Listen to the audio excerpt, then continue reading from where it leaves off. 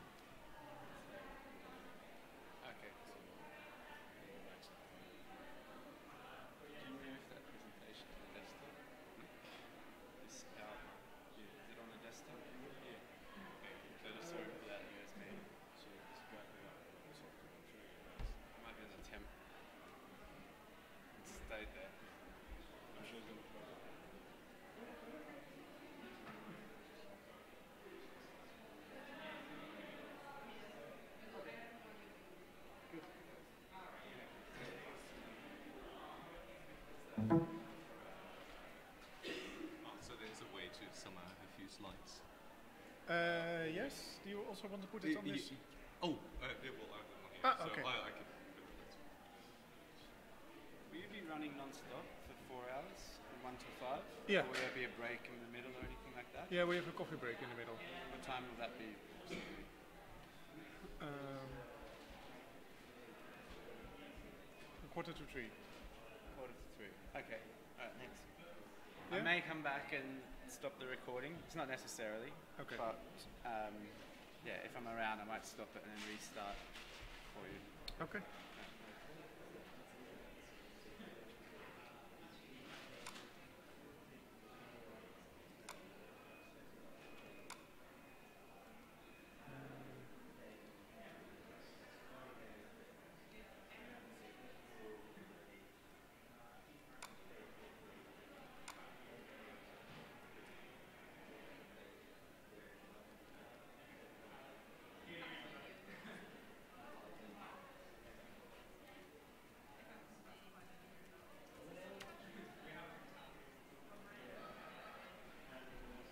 All right.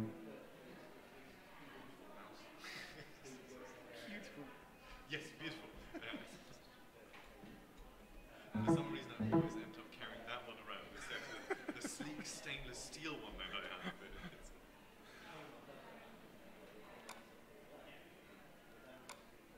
Uh, which one would you like? uh, uh, use the PDF. I think that's the. this one?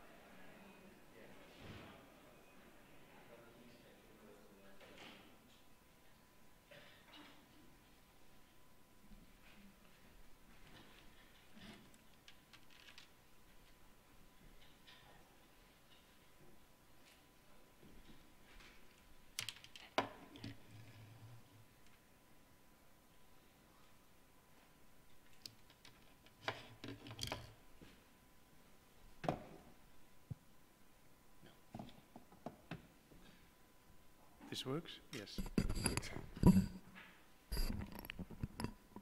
Okay. Uh, good afternoon, everyone.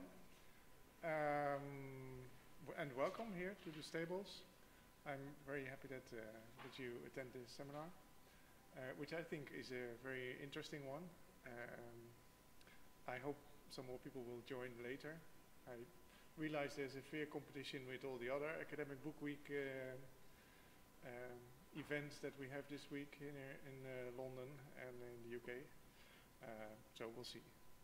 We have a small change in the program of today, uh, which is that unfortunately the Wellcome Trust was very busy evaluating funds and uh, grants, so they cannot attend. They emailed me yesterday evening. So there's a little shift here, so uh, we move everything up 15 minutes, and then we have a little round table at the end. So if that's okay. Um, then uh, let's get started with the first speaker, uh, Niels Peter Thomas, who uh, started as a chief book strategist uh, very recently here at Springer Nature, and he's going to tell us more about our book strategy. Niels. Thank you, Martijn, for introducing, and thank you. Welcome to the stables again. Welcome to Springer Nature. Um, I'm very much looking forward to this um, to this session. Um, I'll give you some glimpses into our book strategy, but um, most of all, I would like to weed your appetite also for the topics that will come this afternoon and um, introduce them a little bit and give my perspective, my personal um, perspective on it. And since you will see lots of uh, PowerPoint presentations and charts uh, throughout the evening, I will do it in a in a different way. Um, and especially, what I would like to do is uh, introduce into the topic by showing you some famous paintings, and some of which you might have seen before, some of which might might be new. Um, this one, for example, is uh, from Karl Spitzweg, a, a German painter at the beginning of the 19th century. Um, and you can see here a librarian um, working in his library, and in fact, it is a scientific library, as you can see um, in, in the upper corner. It's the section on metaphysic uh, that he's currently looking into. Um, and what, what do we see? We see a librarian who uh, is among um, his valued treasures, among his books. He has the content directly in front of his eyes, and yet he has problems to work with the content and to work with those books. Um, he's struggling with these three books that he wants to read at the same time. There is not enough light. So it's, um, it shows us, it's a picture that shows us that even if you have all the content, that doesn't necessarily mean that you can work with the content in, uh, in a convenient way.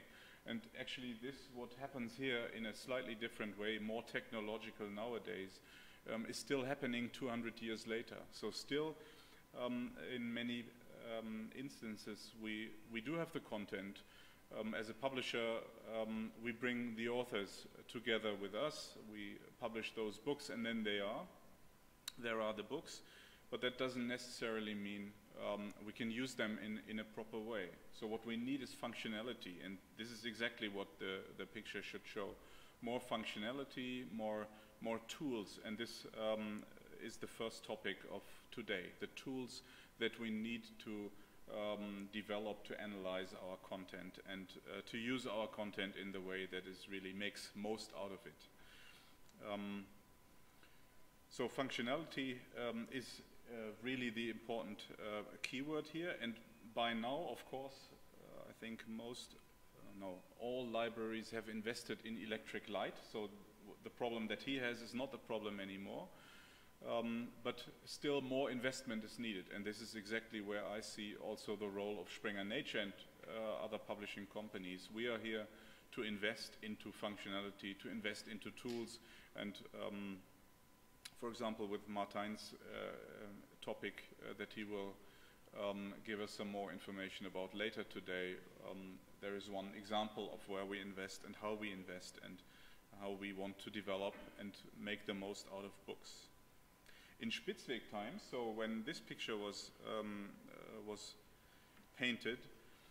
Um, maybe the book was almost the only way to reach a larger audience. Yeah, you could talk with people in a lecture at a university, but other than that, if you wanted to have impact, if you wanted to have, uh, if you wanted to reach other academics or change the world, then the only possibility was to write a book.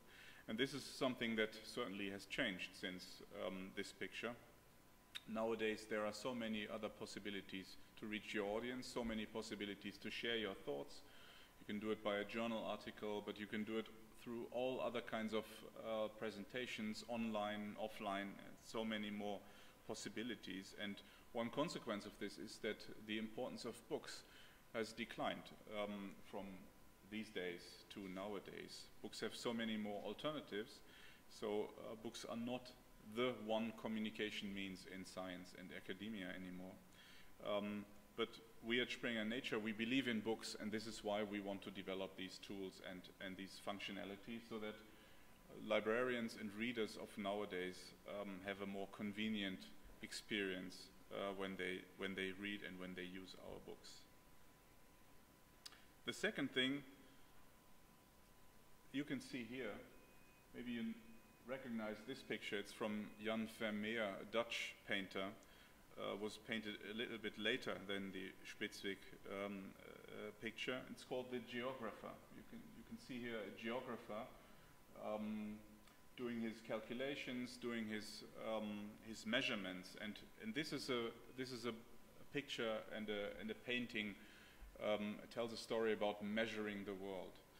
And I think this is our second and maybe most important uh, topic for today. It's the measurement of what we do and the measurement of what, what the impact of books actually is.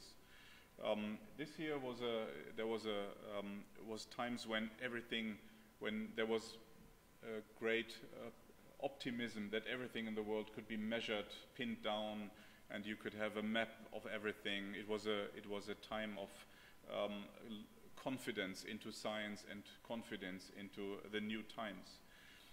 We still have this problem that we need to measure, and apart from developing new topics, uh, new sorry, new um, uh, tools and functionality and um, uh, things how we can use the book, I think maybe the most important thing, the most important task also for publishers, but also for the whole academic world um, is nowadays really showing how much impact these books that we publish um, have. And I think this is really a common theme, not only among publishers, but among all people involved in the book, in the book world, in the academic book world. It's a, a shared need that we all have. Authors want to know how their own books develop, what impact they have. Um, research institutions or funders want to know what is the impact um, of research that they have um, given resources to.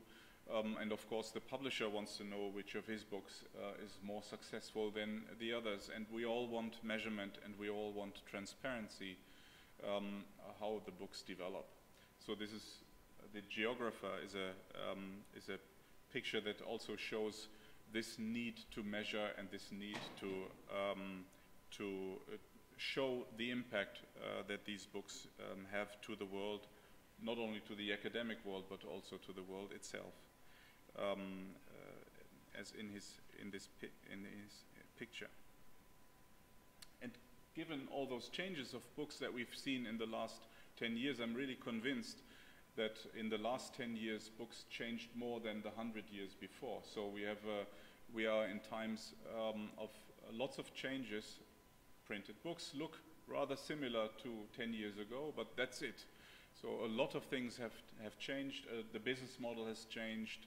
Um, the perception of books in the academic world has changed.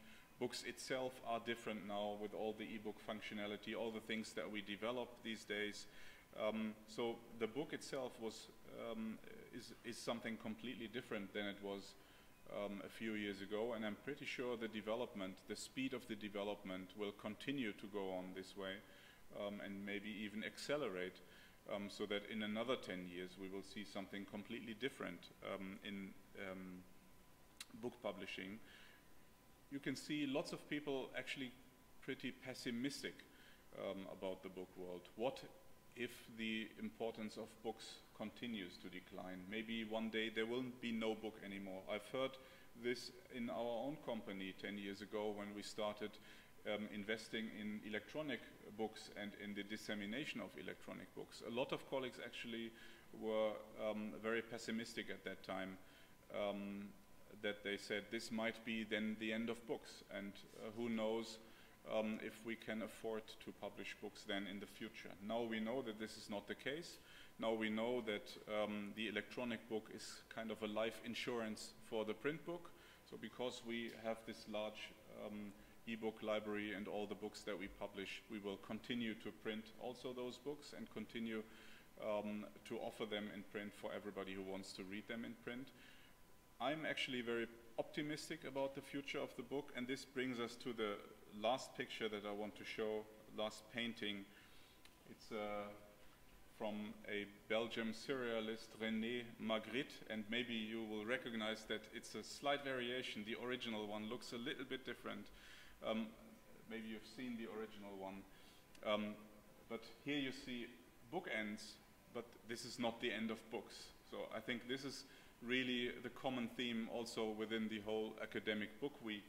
Um, we, the book people who are interested in, in, in doing them from a company perspective, from writing them from an author's perspective, um, reading them or using them from a librarian or researcher's perspective, we all share this idea that this is certainly not the end of books. Um, books need to be developed, books need to be uh, rethought, um, and this is something that we will certainly um, do within Springer Nature. Springer Nature is the biggest academic book publisher of the world. We have the ambition to uh, play our role here and um, invest into books, invest into the idea, but also in the um, in, in showing the importance of books and uh, bringing lots of more books um, into the community and cherish them and uh, be optimistic about it. So this should be our motto for today and maybe not only for today but um, for quite a while. So I'm very much interested in the next topics. Martijn, will you introduce the first speaker then?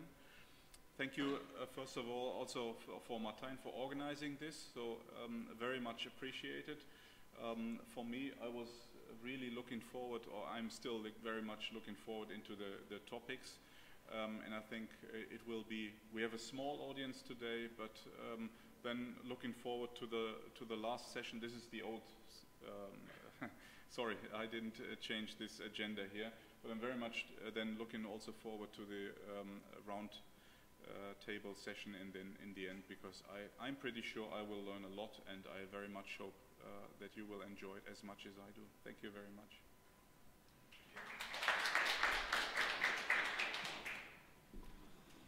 Okay, thank you. Uh, the next speaker is Jonathan Adams, uh, Chief Scientist at Digital Science, and in uh, particular here uh, to talk about the REF impact case study that he has done for the HEFCE. I'll get the slides.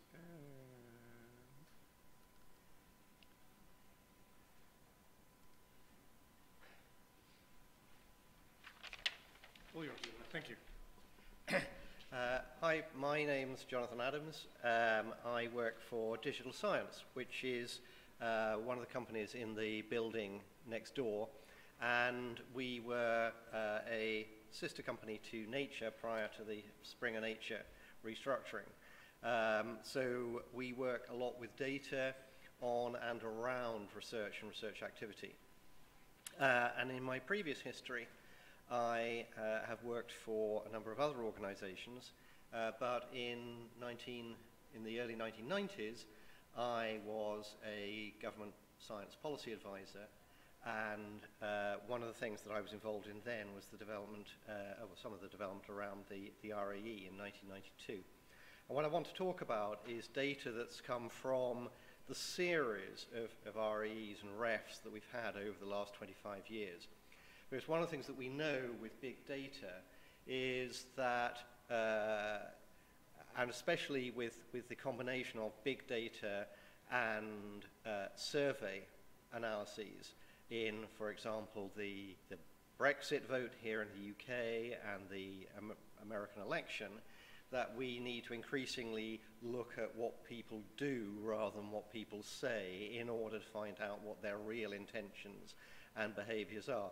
So getting into the data provides us with, with, with uh, some interesting pieces of information uh, about, about what people are really doing around things like books and other publications. So the key question really here from uh, an academic perspective is what publications best represent your research? And if you go and talk to academics about what publications best represent your research, then uh, according to their discipline, according to the, the, the, the, particular part of the sector they work in, uh, where their position in their career, they may come up with uh, different uh, answers. But one of the things that we can do is to look at what they actually put forward as evidence of their best research uh, under assessment circumstances, which is what we have with the, the, the UK's research assessment exercise. This exercise started in 1986. That's the first time it was run. And that was a time when the UK realized that it didn't have as much money as it wanted for all the research that could be supported. And the first time it was run, it was called the Research Selectivity Exercise because it was to support a process of greater selectivity in the way in which funds were going to be distributed. But for that very first exercise, universities were asked to submit the entire publication portfolio of their staff. So it was their full CV, everything they published, huge, huge lists and the peer review panels across what was then something like 120 subjects had these enormous paper lists to go through, which were completely useless, because what can you assess from that? So by 1992, which is where our data start from, the exercise had been restructured. And in the 1992 exercise, which covered a census period from 1988 through to 92, the specific instruction to academics was to submit four outputs, of which two had to be publications and two could be other forms of output. And so that established a format which then ran through later exercises. So what we're looking at are data about four outputs per academic.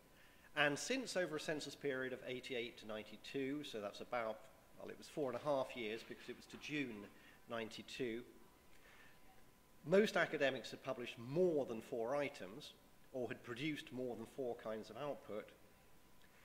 They're going to make choices about what they actually submit. So we're seeing their selection of material as the material that best represents their research to a panel that's going to make judgments about their reputation, and that's going to affect how much funding they get. So this result matters. They're going to be careful in making their choices.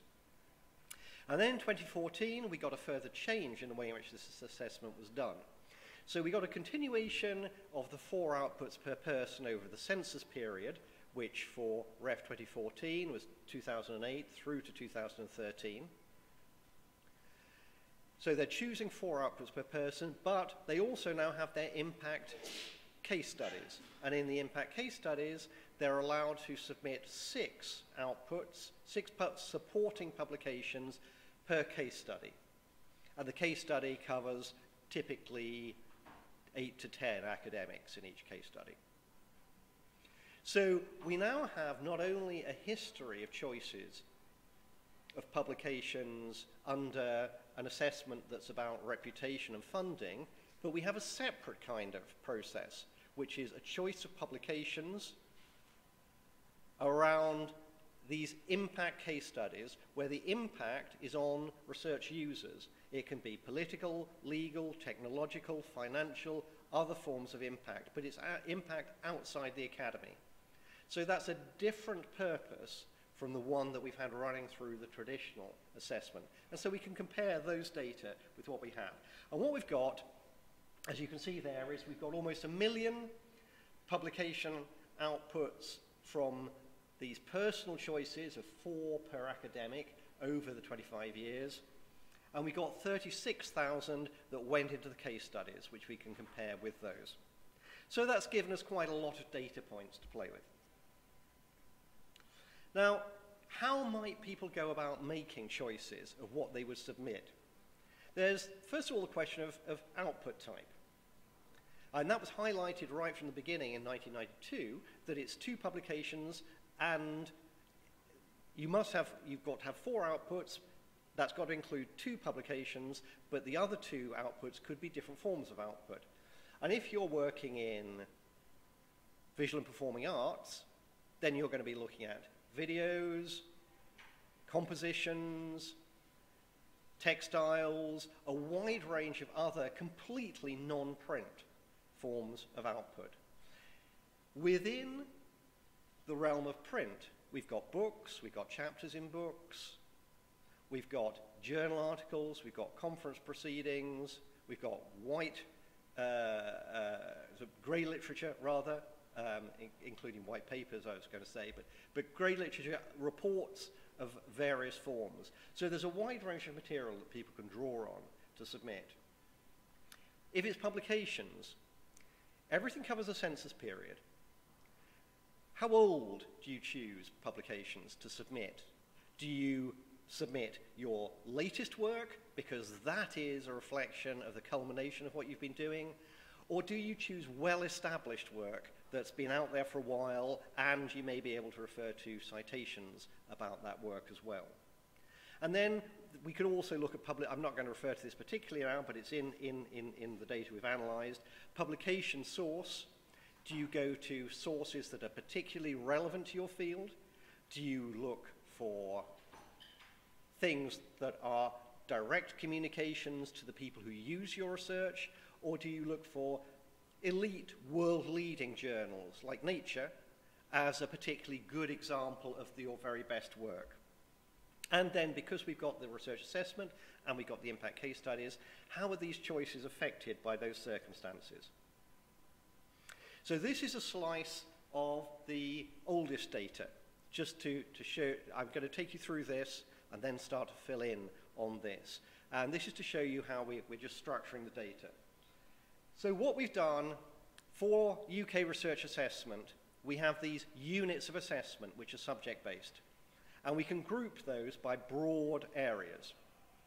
And in fact, for the latest, that for the REF, they were grouped across four main panels, which is what we've used here. So we've got science down the bottom here, we've got engineering research areas, we've got the social sciences, and we've got the humanities and arts. And we've grouped the publications and other forms of output into four types.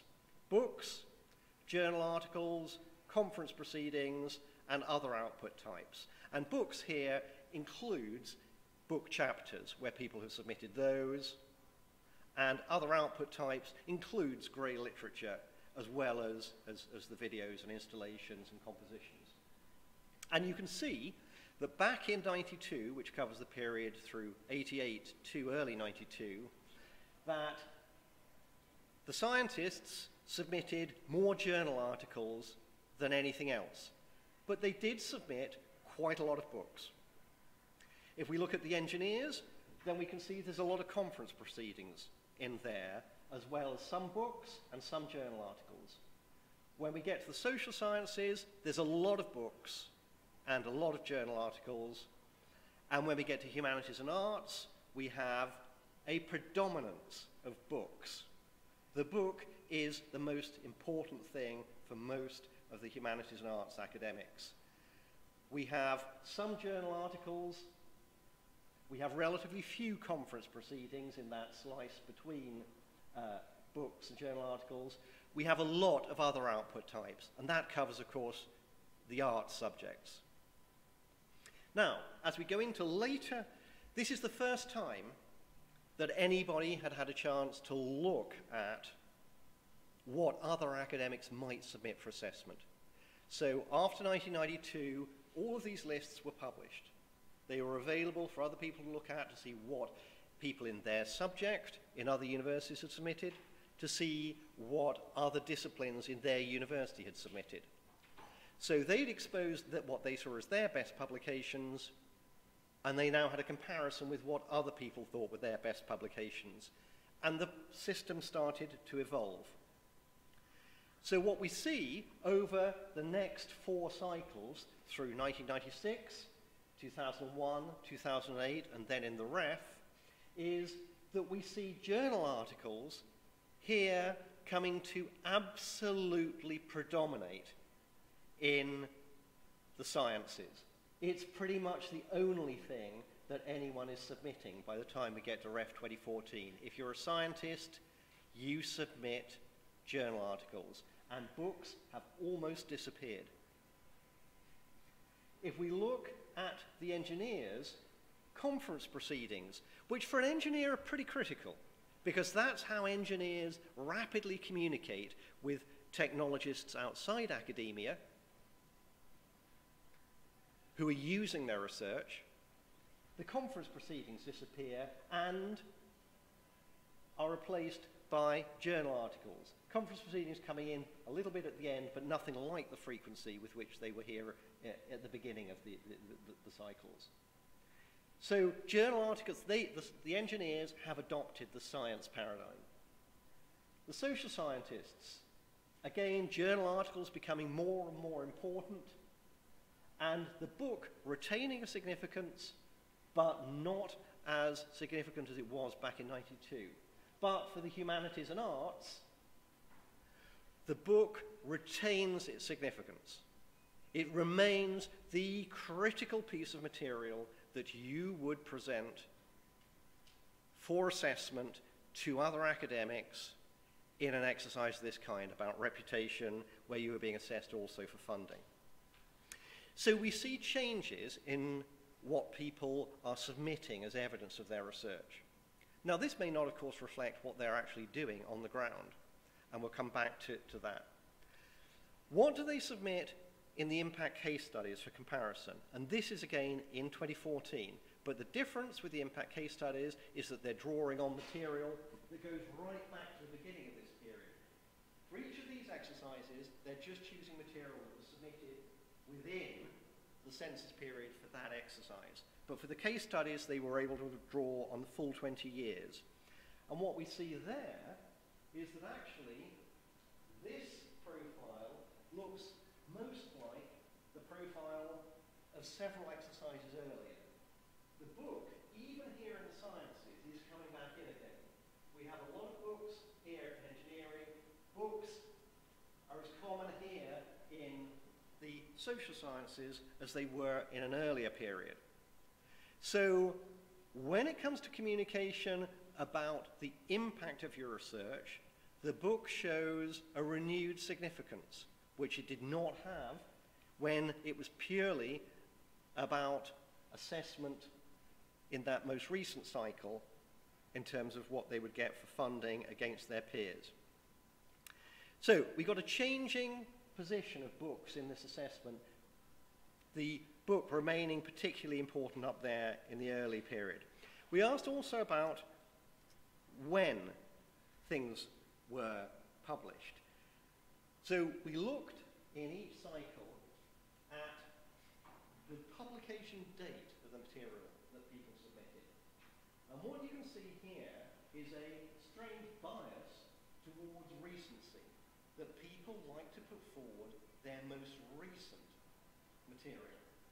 And when we go back to the beginning, so these columns here are related to the 1992 RAE, but very few 1988 items are submitted. The most common year is 1991, which was the full year just before the end of that census period. When we get here to the 1996 exercise, 1995 is the key year. That's where most of the publications are drawn from. So there's a real bias that people have towards the thing I last published. It takes a long time to write a book. So books are being generated at a much slower rate than journal articles. If people have a bias towards recency, they're going to tend to draw on those recent journal articles, which are, of course, not necessarily a summation of what they've been publishing.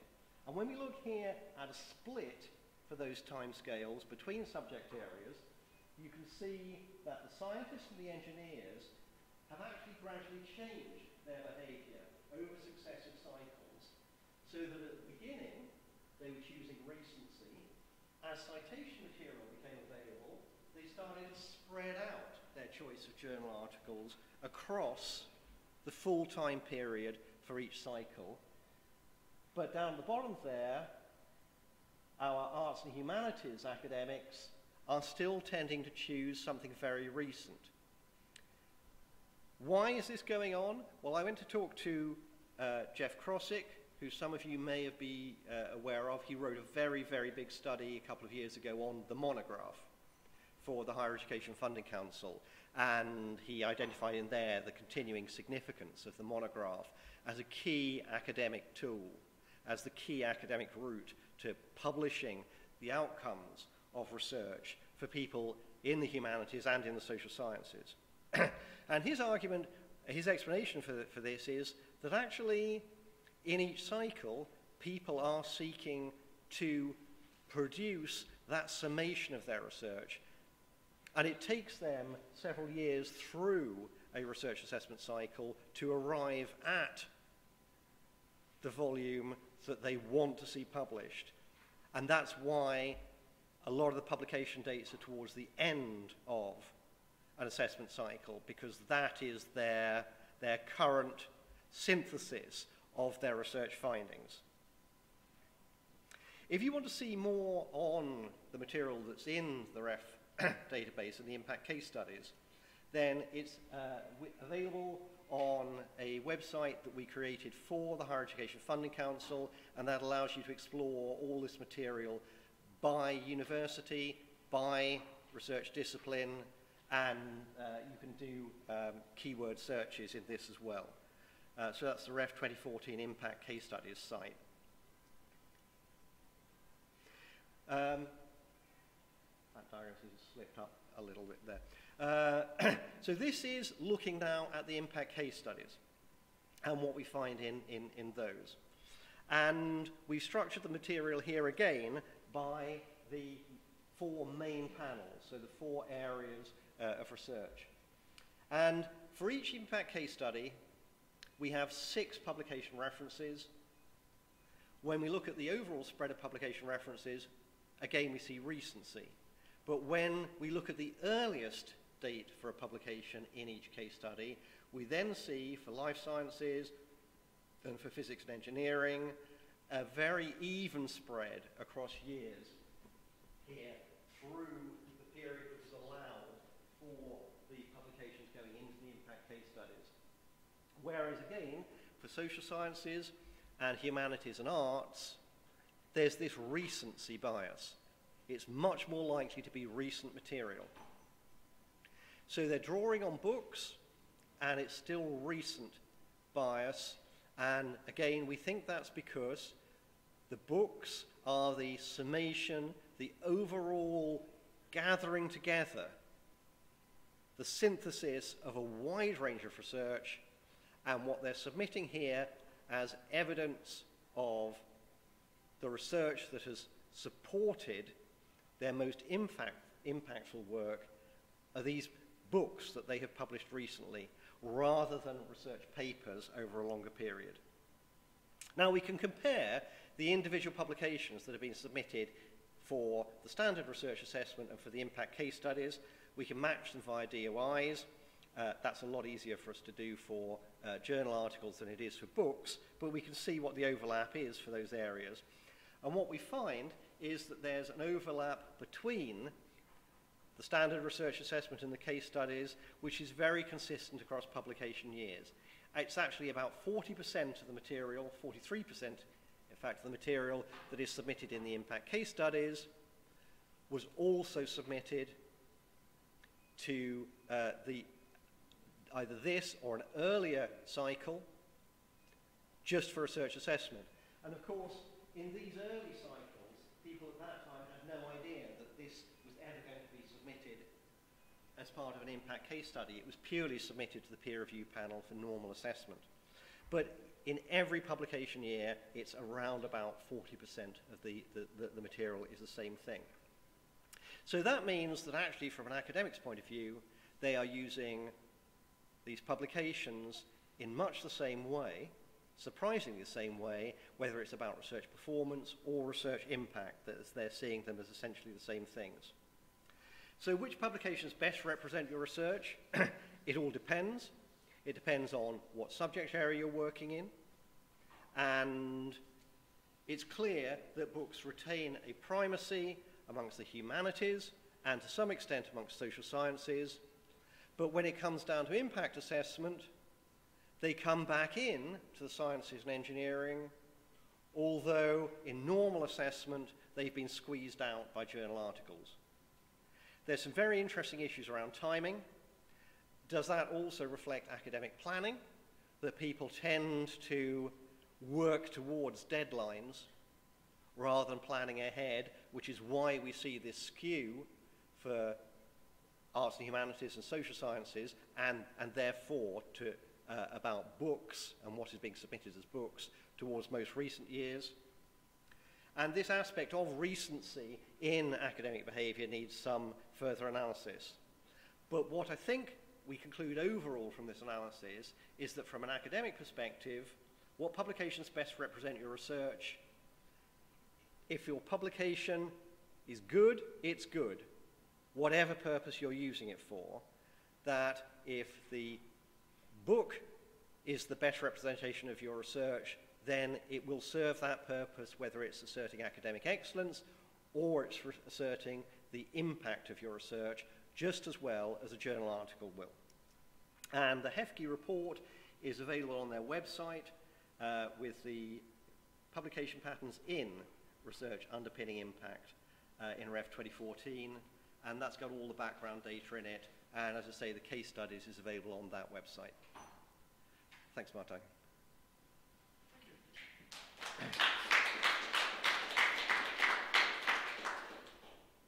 Are there any questions for Jonathan?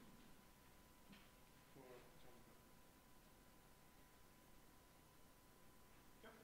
Is the recency bias matched, um, I know you're looking to look at correlates with uh, peaks in publications, so are people kind of rushing out books at the end of the grant period, or journal articles, do you publish publish more around that? So, so what we'd really like to do is to get publishers to give us information about the, how their pipelines operate. Because what we, we'd like to see is what the pipeline of submission uh, of manuscripts is uh, in relation to, to, to, to what we actually see being submitted here. Um, that is quite difficult information to acquire, and we haven't been able to do it. Um, I assume it's got commercial sensitivities.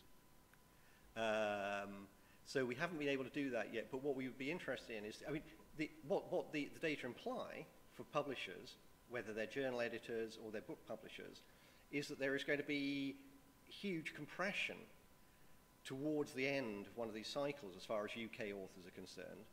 I, I guess everybody's got a much wider range of authors than that, but there are going to be some publishers that, that, that may have a particularly UK focus. And so actually it should be very, very difficult to get published at the end of one of these cycles because everyone's trying to get published then on what we're seeing. So, but what we want to see is, is, is, is whether the data from the publisher side reflect that or are we seeing books being published from UK academic authors at much the same rate all the way through and we ask you know, how selective is this selectivity? It implies it's really very selective. But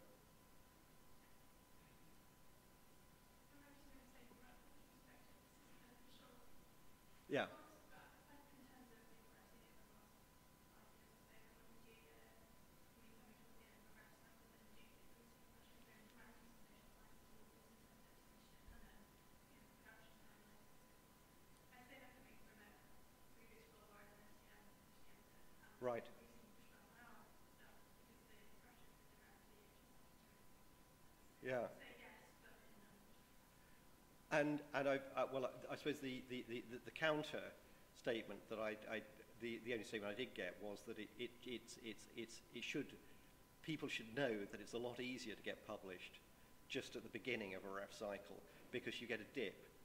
It's, it's academic behavior that, that academics go, thank heavens that's over and all, you know, take it easy for 12 months. And so that's the time to get your manuscript in. Yeah, I think uh, I'm a little bit the counterpart, so I'm more from the science. Yeah. Uh, I've been publishing five years for science. and never noticed anything You don't see. No, no, no. no, neither in the books nor in the journals.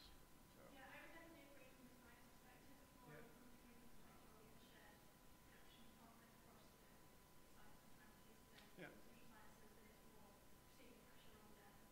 Um, if the PhD has pressure on around the time of the grant, but I wouldn't say it's a direct impact on our direction of this. But, but that, it's interesting that there is that clear pressure. People want to get their book out, that they, they would rather have that book ready to submit than spend the time on doing a couple more journal articles. Yeah. Yeah, So when's the next round? 2021. Oh, okay. so we don't have the alarm the production department yet. No, soon. Yeah. okay. More questions? Okay. If not, thank you. And uh, our next speaker is uh, Philip uh, Keuker, I- I guess. I was put on the wrong foot, uh, so to say, because of my Dutch uh, roots, so I thought it was Koeker. Yeah, I had the inverse. When I lived in Germany, everybody called me Reulense, which it isn't. Uh, anyway, so eh, I'm very pleased that you could uh, uh, come here and uh, share a little bit about the, the researcher side with regard to the REF and in particular the role of books in the research assessment.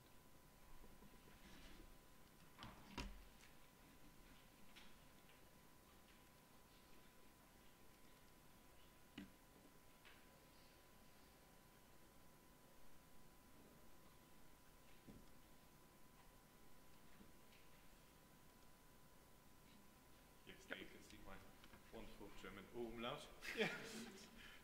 but sort of get lost when you move to the UK. Um, yeah, thanks for the introduction. Um, maybe before I start, a bit on my background. Uh, I'm a political scientist, so most of my comments will rather relate to political science uh, or social sciences in that, that um, direction. Um, well, I'm originally from Germany, studied uh, uh, political science at University of Mannheim before I then came to, to UCL to my MA, PhD in political science, and I started working there uh, in uh, European funded projects. Uh, ANTICORRP was uh, also um, responsible for, for a lot of impact and research dissemination activities, but then uh, since last October mo- moved from big institution at the top of the table to, to another institution, Canterbury Christ Church University, uh, especially the politics department, only uh, participated in the last ref and no other research assessment exercise. It's quite exciting. Uh, and of course, that's uh, Christ Church, uh, two words, UK, not Christchurch, one word, New Zealand, in case you want to stop by. Uh, sometimes cause confusion, so you get emails of people being in town. Um, Um, yeah, my, my role there is mainly preparing the politics group for the next ref, uh, achieve a much better result uh, in so many ways, like um, more research income, uh, making sure that people submit to maybe higher ranked journals so that we get our star rating up. It's of course also a bit difficult because we're cross-submitting with a few other um, uh, groups that are not really part, like policing studies, for example. Um, also serving as the big data ambassador for the School of Psychology, Politics and Sociology, so I was involved in the big wider research environment and got really excited about uh, almost a million outputs. Um, so yeah, in my talk today, uh, I don't have many fancy slides, but I want to talk about book publishing from the perspective of an early career researcher. Um, so I will show you in a moment my uh, book is coming out in the beginning of the ref cycle with Palgrave. Um, and uh, so I can claim some experience there. Um, and then the second, probably somewhat longer part, is then trying to give a bit more university or departmental perspective on um, books, impact, the last and uh, the next ref. Um, and uh, unfortunately it didn't have that much data to look back on, so um, uh, it's probably not as well evidenced, but uh, hopefully still uh, useful. Um, so yes, there you can see my wonderful book cover. Um, but when I applied to do my PhD at UCL School of Slavonic East European Studies, so one of the few interdisciplinary departments, um, uh, and looked at the profiles of postdocs at the time just to see what they did right after their PhD. There was this one sentence that you could find almost everywhere, uh, the, usually the bottom of their profile. In addition, I'm preparing uh, to publish my PhD thesis as a monograph. Um, and simply, uh, six years ago, that seemed to be just the thing to do. This is what people told you. But when I left UCL last year, uh, to my knowledge, I was only one of two postdocs who were actually currently in the process of either publishing uh, their thesis as a monograph or preparing uh, to publish it um, across disciplines.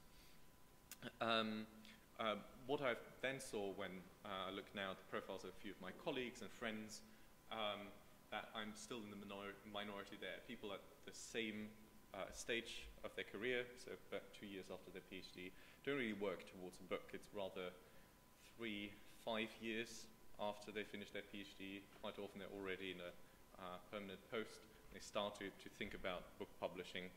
Um, so there seems to be quite a change over the last years. Um, and uh, wouldn't be a scientist, even though it's just a political scientist, if I didn't want to, to find an answer to that, then there are sort of two explanations, hypotheses I could find. And uh, on the one hand, we find that there's a, a decline of the big book thesis um, as an output by PhD students, and there are a lot of changing practicalities uh, in the early career researcher job market, so changing publication strategies. Um, yeah, think about the big book thesis. So what I mean by that is rather like a single study that's so intricately interwoven and interlinked, sort of an old-style way to, to, write books that you can only read and understand it if you read the whole thing uh, as one. Um, but now that PhD programs are becoming a bit more structured, uh, students need to give presentations, there's at least one upgrade procedure, um, need to present their work in developmental seminar series, uh, submit drafts to supervisors, they're simply less likely to, to actually produce this, this one long piece of work, but rather smaller chunks uh, that are, at least to, to a certain degree, um, self-sufficient. Um, and there are also more opportunities now um, coming, I think, mostly from the sciences, also strongly in the social sciences. Um, so theses by portfolio, as far as I know, for example, in, in Sweden, that's almost the, the only way to go now for political scientists.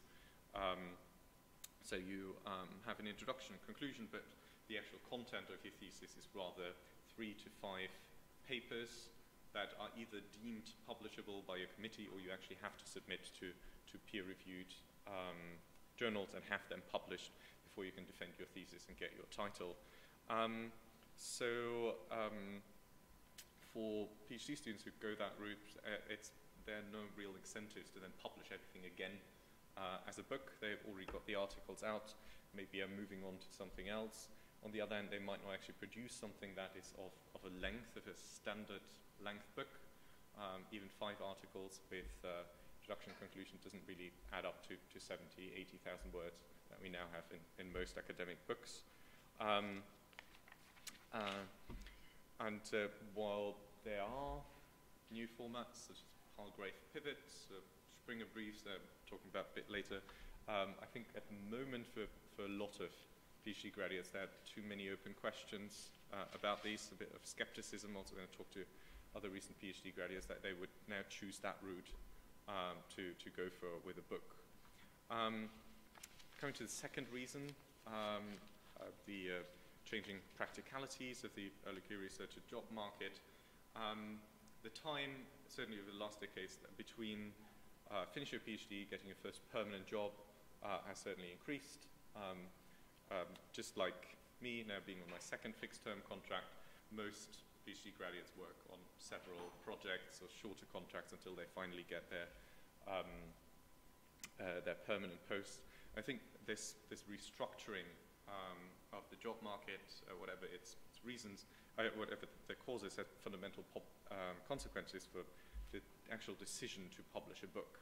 uh, whether you write a book from scratch or you try to transform your thesis, it's still a, a, long-term commitment that doesn't really uh, seem to fit in very well with the short-term career planning um, of fixed-term contracts.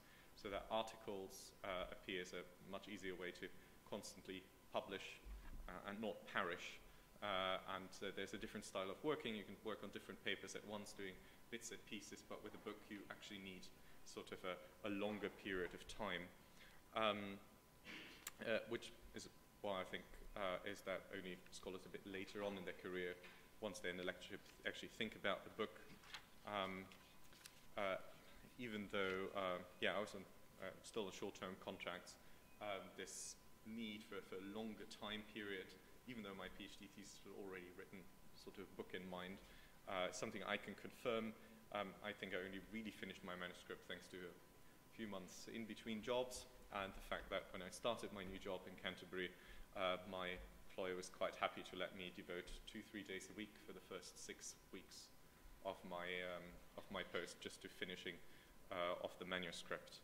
Um, uh, of course, some early career researchers might overestimate the amount of time or energy that it, it actually takes to, to um, revise your thesis. Um, uh, I, I, think that that's still, um, yeah, um, a main cause.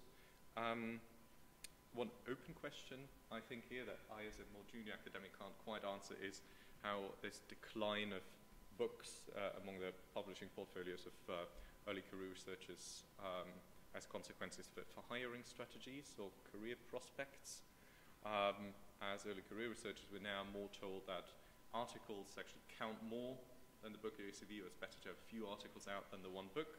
The other hand, uh, I felt that once I had the book under contract and was on my CV, uh, that was when I got more interviews and was, was quite posi positively remarked on. Um, maybe we have some senior academics in the audience who give, can give some insights on that. Um, now coming from the, the early career researcher's perspective, a bit more to, to the university side, I see I've got a few more talking points there, um, and actually some that we've already heard a bit about, so probably jump over them. Um, but uh, I, I, think what we've generally seen, uh, everybody agree with transformation of the academic book as such. Um, we, we've added functionalities, um, ebooks, and so forth. Um, so just as the big book thesis seems to decline, uh, it, it, declines, also seems at least a slight decline for, for the, the heavy scholarly tomes that are only written for specific audiences and only bought by libraries uh, that can actually afford them.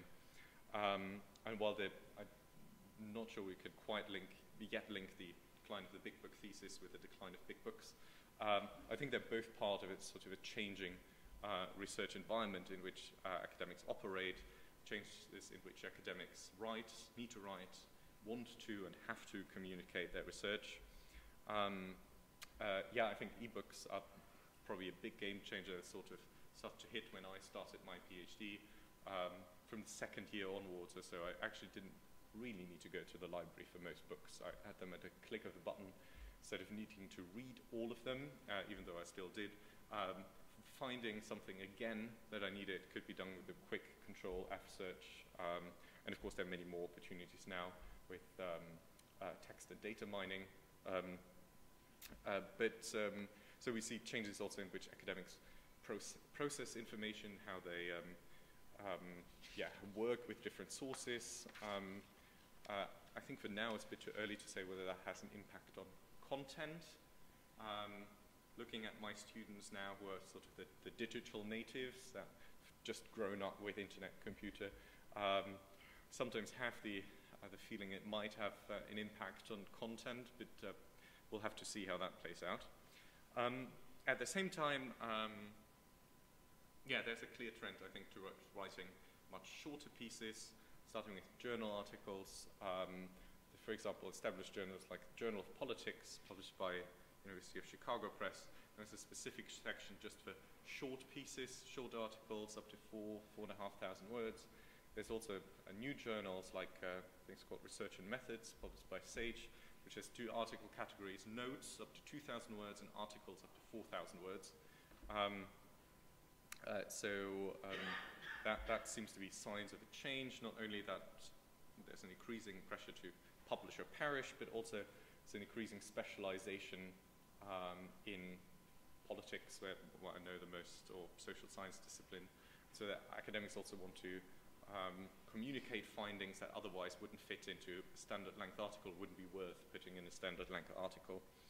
Um, uh, and uh, part of this is that I, think that publishers uh, um, have started to work on, on, shorter formats for books, like Palgrave Pivot, there currently mentioned uh, Springer Briefs in political science, all other subjects, or then uh, from your um, yeah, um, other publishers, Routledge Focus, for example, um, all seem to try to try to, to get the share of the same market. Um, uh, and uh, it's maybe a move also to make books a bit more affordable, uh, to have a greater potential, that these are bought by all the people that we as academics claim in our book proposals, our secondary audience, uh, government departments, journalists, think tanks, but they, they, probably wouldn't buy a book that costs 90 pounds, but once it's 40 to 50, it's much more, more likely probably that uh, they can convince them that, that, that they'll buy one. Um, uh, and of course, I think this, the selling um, of more books is, of course, in publishers' interest, just that is in academics' interest because their research is read by more people. Um, there's another trend that I see open access publishing. Uh, this is probably a bit more difficult to embrace by commercial publishers as a whole, even though they're open access, individual open access journals. Um, but it's a trend I think that might be very much pushed by government regulation already on green open access for, for the REF. Um, uh, as um, open access journals has become more accepted um, and more used by, uh, by scientists, uh, there might be a further push forward. And think, well, just around the corner at UCL, we have UCL Press that was relaunched completely as a open access press. You can still buy every tome in print, but otherwise you can download the books for free. And while I think it's currently the only 100% open access press in the world, a few others, university presses, they're sort of open access arms. Um, I think that might be a further trend that uh, we need to follow. Um, coming to books and impact, um, first um, uh, sort of uh, away from the impact case study as such, um, I think that the, the academic book or monograph, uh, even though it's undergoing all these changes that I've talked about, uh, still a sort of a, a medium an academic medium that non-academics can very easily relate to.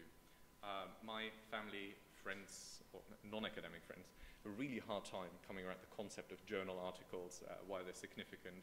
Uh, but now that my book is listed on Amazon and you can pre-order it, uh, it's something that can both metaphorically and hopefully soon also physically grasp is something they can relate to, something palpable. Um, so um, talking to a few friends of mine who work uh, in journalism, I found that uh, books for them often serve as sort of additional markers of credibility in addition to your institutional affiliation, uh, your job title, your degrees. Um, especially when, uh, yeah, working with media, but also what I heard when you work with, with government, that can help quite a bit if you tell them you've got the book on the subject, uh, rather than saying, oh, I've published 20 articles on the subject. Um, uh, this, of course, is only a small uh, part of impact activities. Um, for early career researchers, it seemed that on the one hand, uh, a book might be quite helpful simply um, because they're not in a permanent position yet, don't have a fancy job title. I think outside of academia or even within, it's really difficult to differentiate between research assistants, associates, fellows, and so forth. Whereas a lecturer usually is also by the public quite clearly identified as a um, full-time academic. Um, on the other hand, uh, it appears um, from research that I found that early career researchers are much less uh, actually likely to engage in any kind of impact activity. Uh, on the one hand, they're more pressured into um, publishing quickly, writing proposals, uh, going job hunting uh, to find their next post, uh, then do anything. and at the same time, they don't really yet have these networks of influence that can be used to create impact. Um, um, yes. Um, so, um, yeah, the, the, uh, the um, book as a sign of credibility, notwithstanding, particularly as I've talked about standard length books here, even though it enhances your credibility, uh, in terms of somebody actually using the research from books, they sometimes tend to be a bit much to, to take in, uh, covering too much ground, quite chunky, as I said, can be quite expensive uh, for those that we actually want to use our, ha have used our findings. Um, so um, it's difficult to, to gauge the, the, actual impact of books.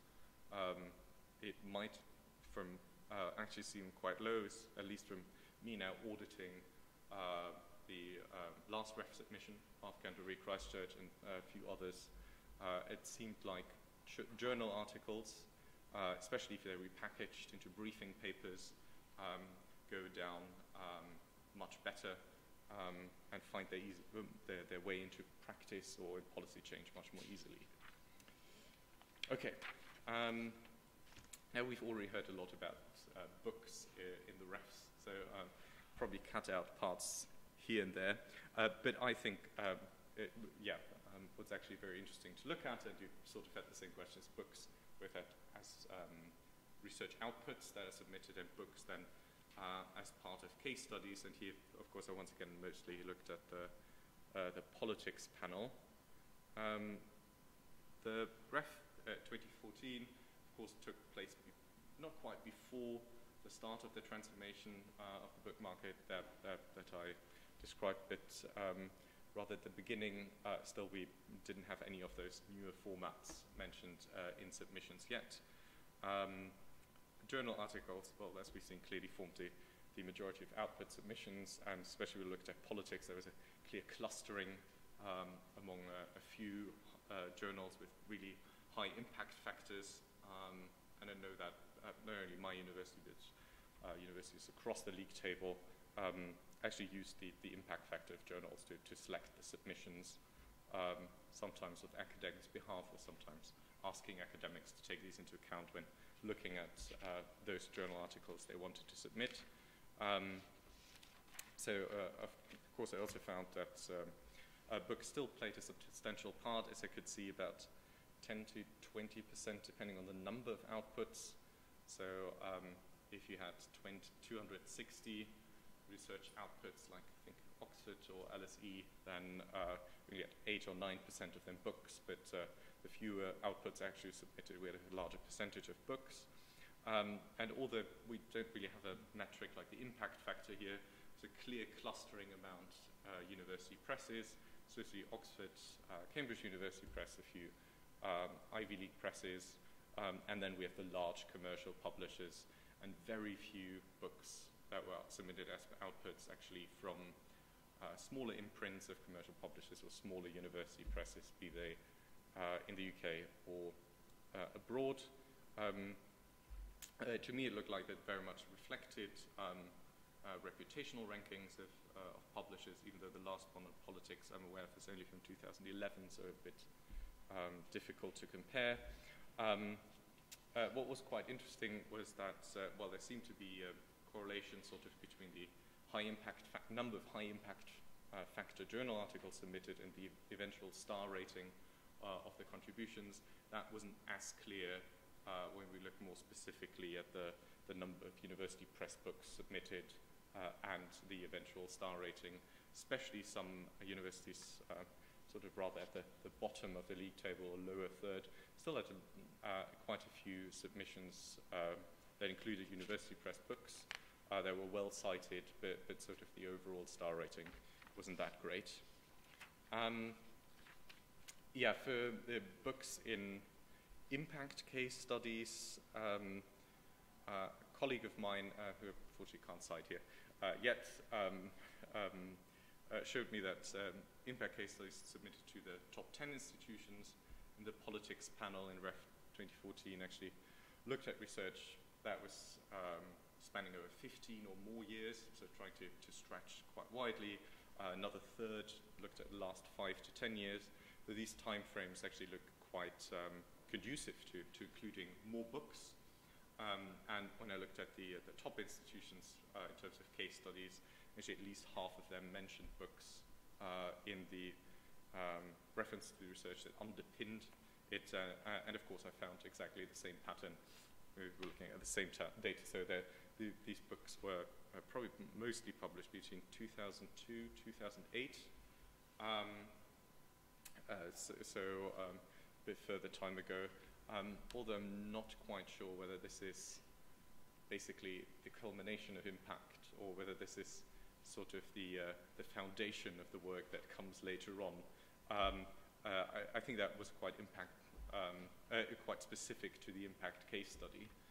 Um, what um, I found interesting, of course, that here we once again have this clustering on outputs from university presses. At the institutions I looked at, uh, like top 10, top 15, there are only three or four books uh, mentioned in the impact case study that were not published by university presses. Um, um, yes. yes. Okay. Um, yeah, uh, talking about um, uh, impact case studies, um, and uh, looking a bit more on metrics and tools, which we also want to talk about today. Um, already said there was a strong selection bias for, for journal articles from, from, journals with high impact factors. So the metrics definitely played some kind of role in selection of outputs uh, for uh, universities. And looking at the impact case studies, what I found uh, quite interesting, in a way, they were also quite metric focused. Um, uh, almost all of them had highlighted the number of citations on the individual pieces uh, of research that was submitted as underpinning the impact.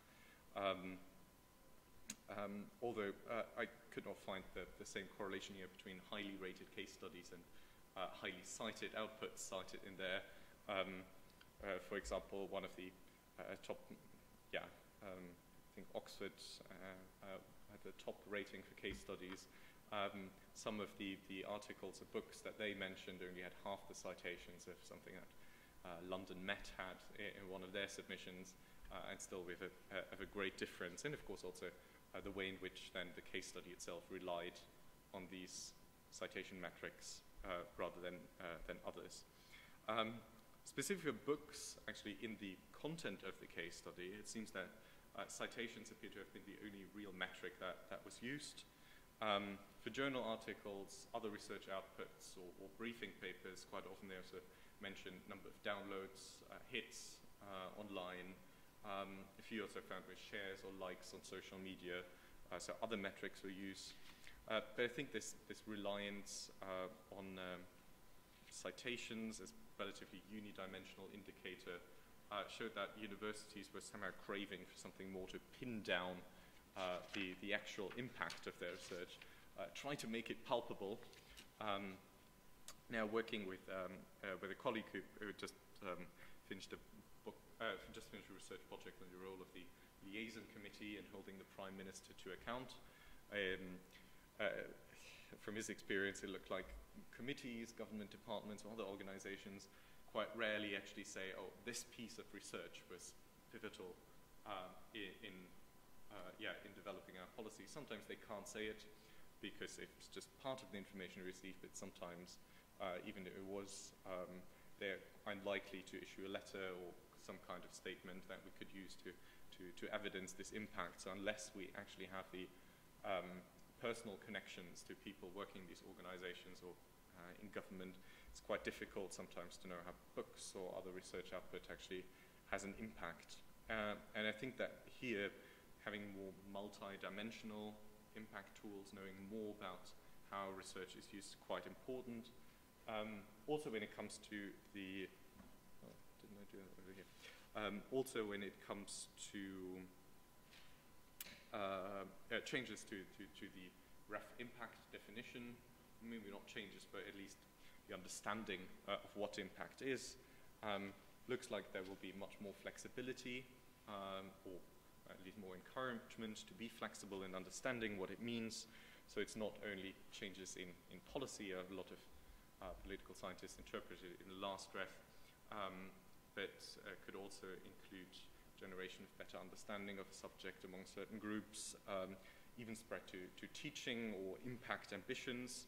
Um, or uh, there will be flexibility to have impact narratives on the departmental or on an institutional level so I think this, together with um, um, more uh, varied uh, publication formats actually means that uh, we as universities um, need to, to know better how our research is used um, on institution level uh, across different departments, how it's interrelated uh, to the outside word, world, uh, and maybe we can find ways to, to illustrate this, these webs of influence or the, the cross-pollination uh, that's usually the model of, of, uh, of knowledge diffusion, um, uh, but it's otherwise very difficult to describe um, compared to, to a more linear impact logic, so you do something that has impact. Uh, interestingly, though, about 60% of the impact case studies at the uh, top politics institution use this kind of linear logic, um, which seems to run quite counter to what we generally know about how knowledge diffusion works. Um, uh, of course, in the end, uh, if we have more refined metrics, not only citations, but also maybe use of our material by, um, by other organizations or people, we might also develop somehow better ways to, to select the books that are actually important to put into our ref submission. Um, I think that that would be a great help if we had a bit more than just the, the publish itself to go by.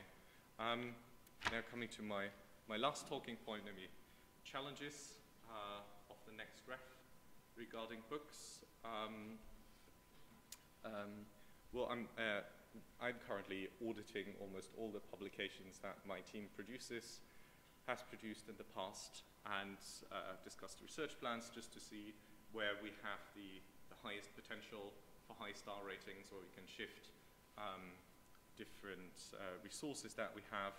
Um, and here, of course, something that uh, came up, especially as uh, two of my fellow staff members are currently thinking about doing a uh, Palgrave pivot, is how we actually evaluate formats of these books in terms uh, of the ref.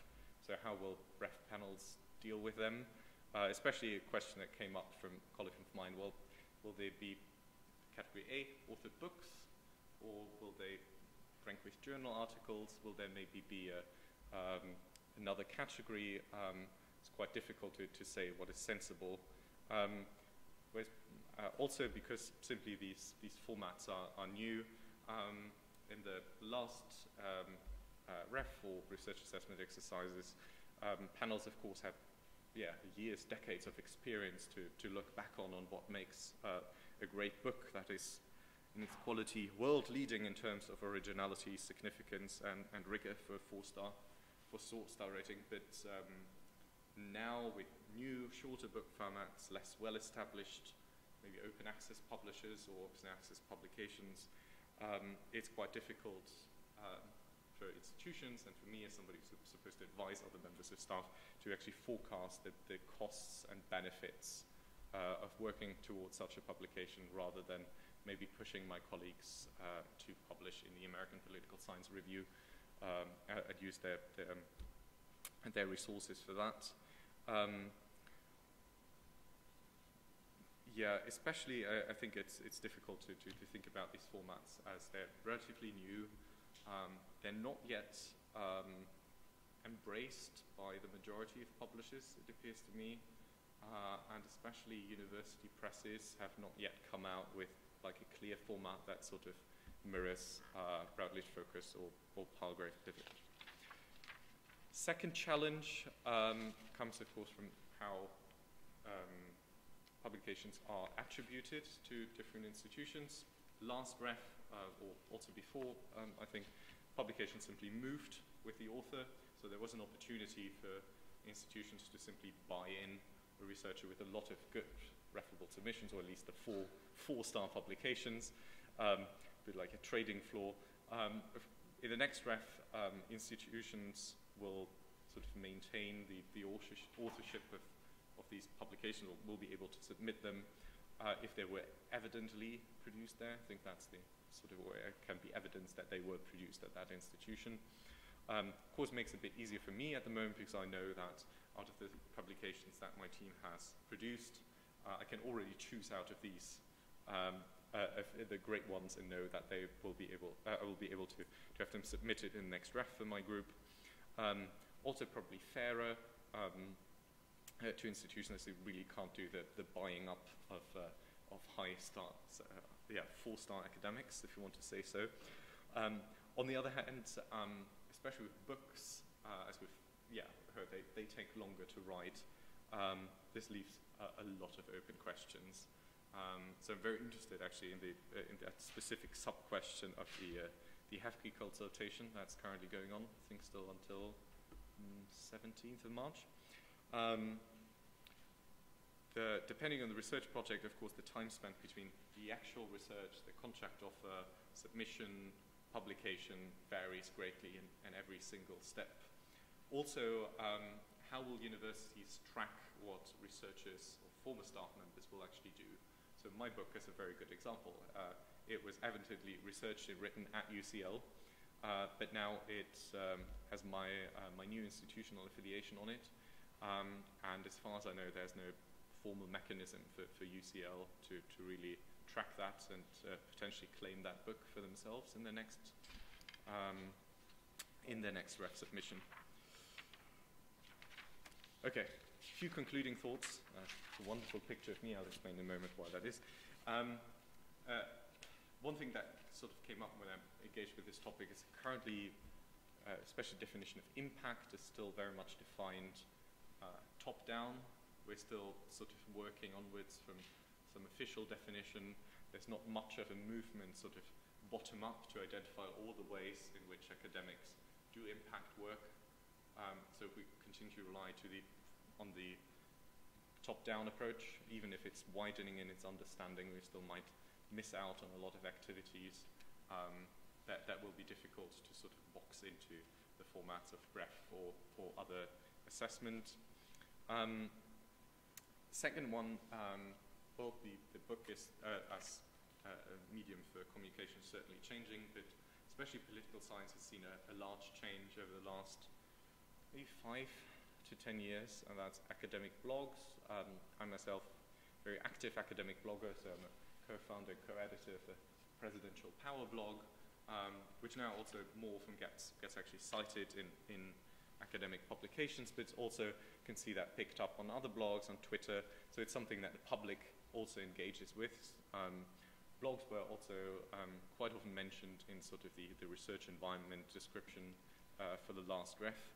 Um, so I, I, think that there's a trend, especially when we look at more professionally run blogs with more resources like the, the LSE blog family or um, the Monkey Cage is also a very uh, important science blog that's now partnered up with the, the Washington Post, has more editorial support.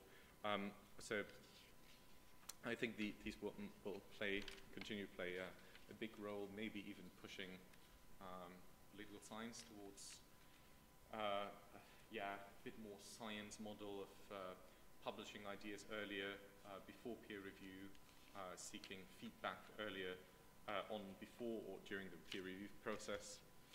Um, now, the, the second image that you see here uh, of me, still with my, my old job title, my old office, is um, a, a, video that I filmed uh, about my research for the, the SAGE re Research Methods video collection two years ago. Um, so uh, these type of things are another type of digital content that academics produce uh, and now making the turn to books.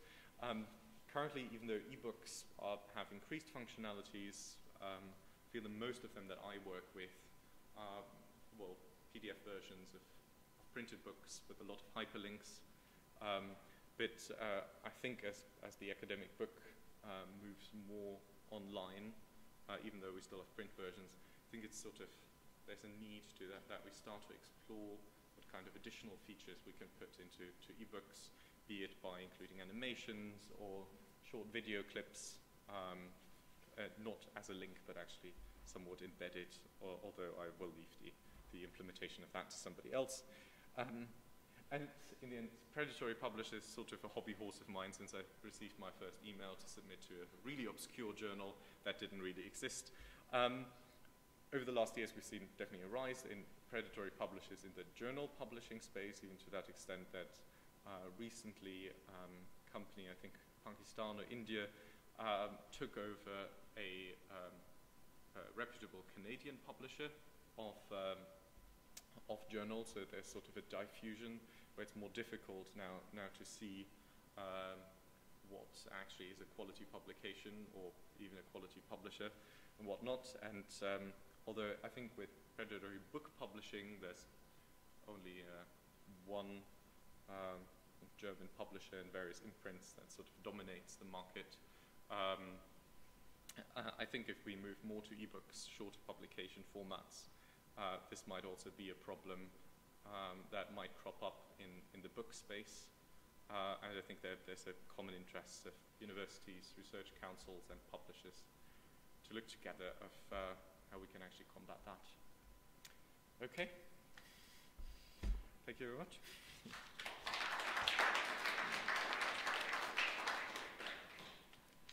Thank you, uh, Yeah. Philip.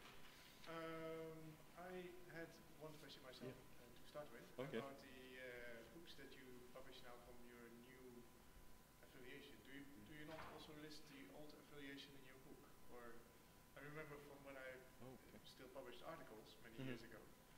Uh, at one point, I moved institutions, and then I had uh, a double affiliation, which sort of meant that you Okay. did work at both institutions. Well, I'm still an honorary research fellow at UCL, uh, so um, that will be, I think, a journal articles, or at least other now published one, which just has the the, the old, uh, it has the new affiliation, and my book also only lists my current position. I mean, this is also, of course, to, due to, to constraints on the, the back cover, but um, yeah. So um, not actually sure there's a certain kind of There isn't a yeah. Uh, so so there, there there's no um, regulation actually. I think on that. Yeah. So, uh, as far I don't know from UCL, I think I'm not. Yeah, with my honorary status at least, there's no obligation to put it on somewhere. Um, although of course it's uh, No, it I think yeah. What I meant Yeah. for so for for science publishing, it was more of a yeah, a Yeah. culture to do it this way. If, you- if you moved somewhere else and you would publish from there, and the work that you worked on Oh. Previously, you would uh, add your double affiliation. Okay. Okay. Yeah. Are It is. there- It's, it's something now I have to look into. but Yeah. yeah. Are there uh, any questions?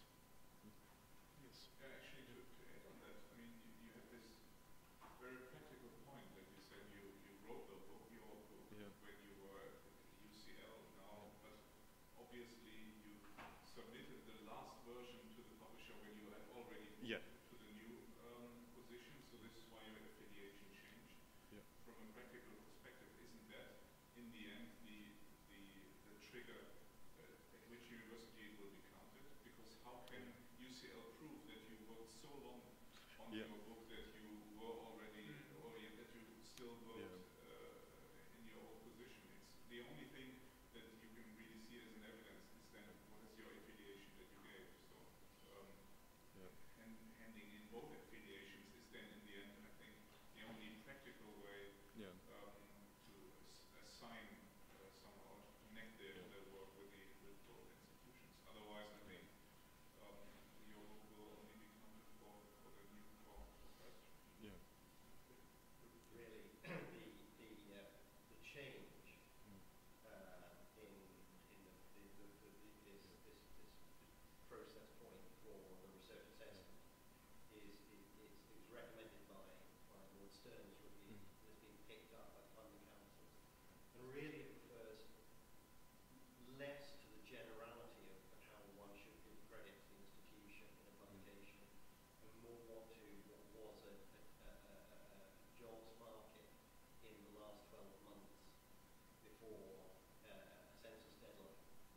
So that you might have somebody relatively senior with a research group of, of, of six, ten researchers with them who would be picked up wholesale and moved institution and take their entire publication record with them.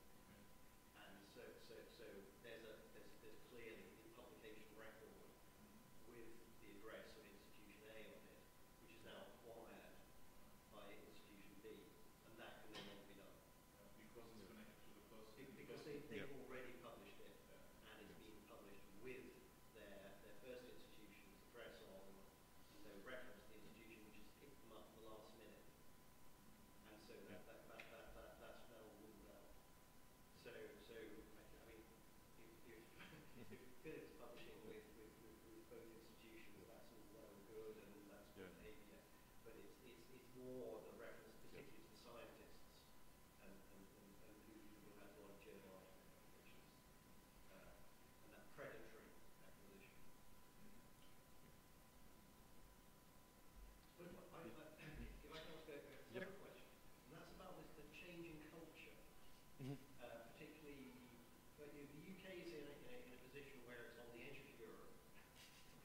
particularly at the moment, um, but, but it, it shares an Anglophone culture with the Mm. US.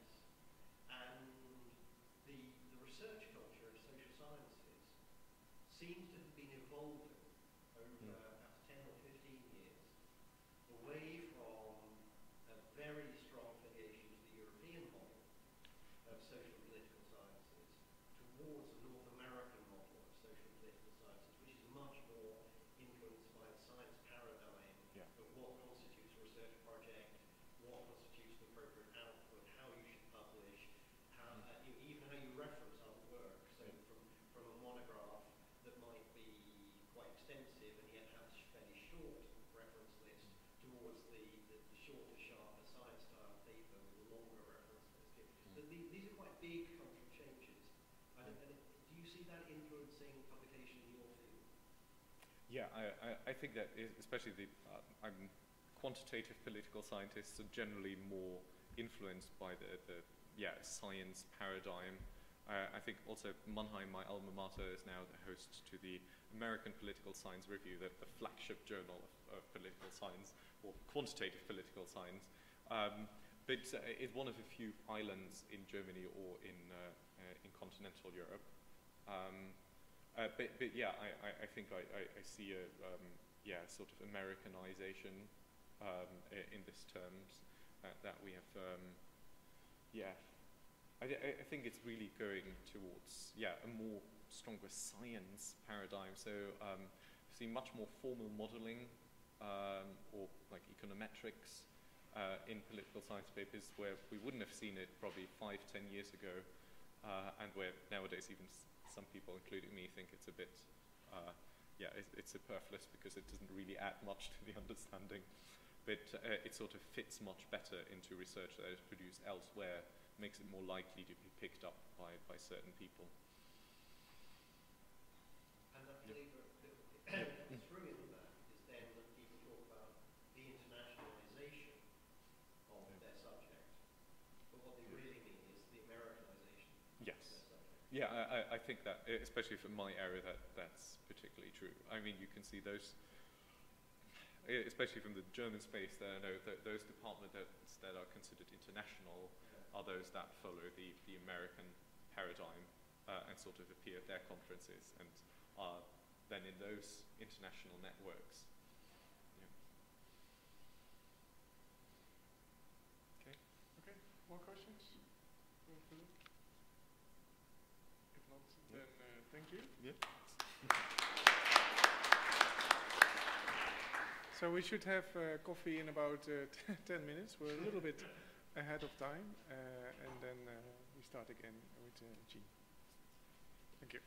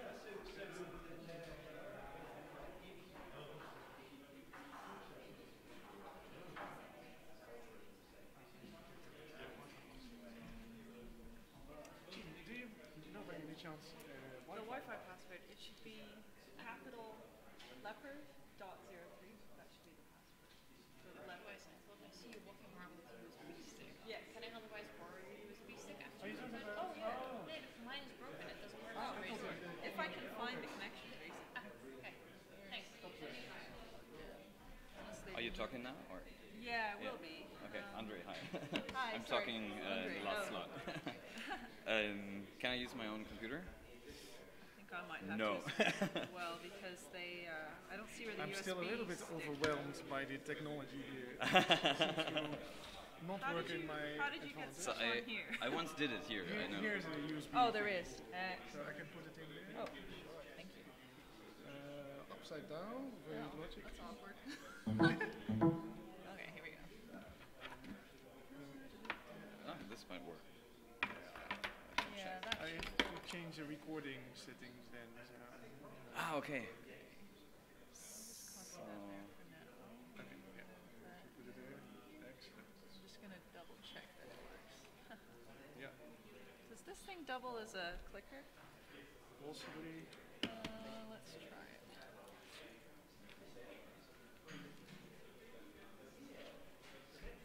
Nope. I don't think so. It's alright. That's fine. Alright.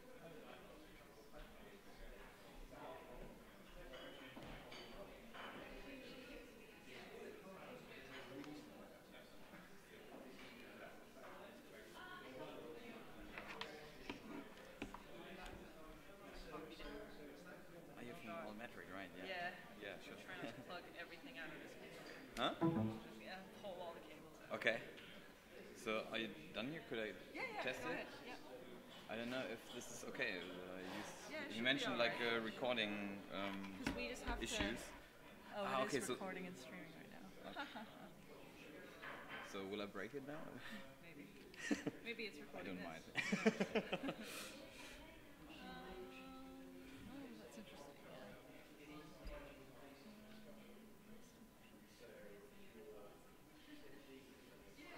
One? one, Yeah, yeah. I'm a little scared. You push it.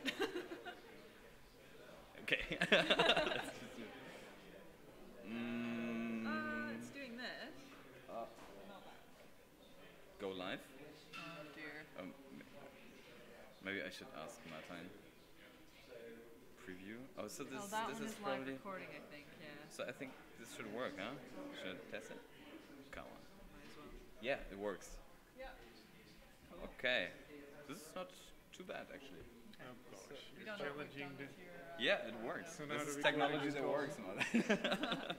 like PaperHive or Altmetric. Uh, Yes. Just try it.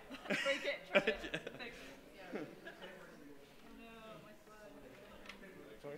Oh dear. Spoiler alert. So I, I would just um, leave here and so this works. You have an Apple thingy to get. No, it's a, it's a, a micro. it's just white. Okay. yeah, it's just white exactly.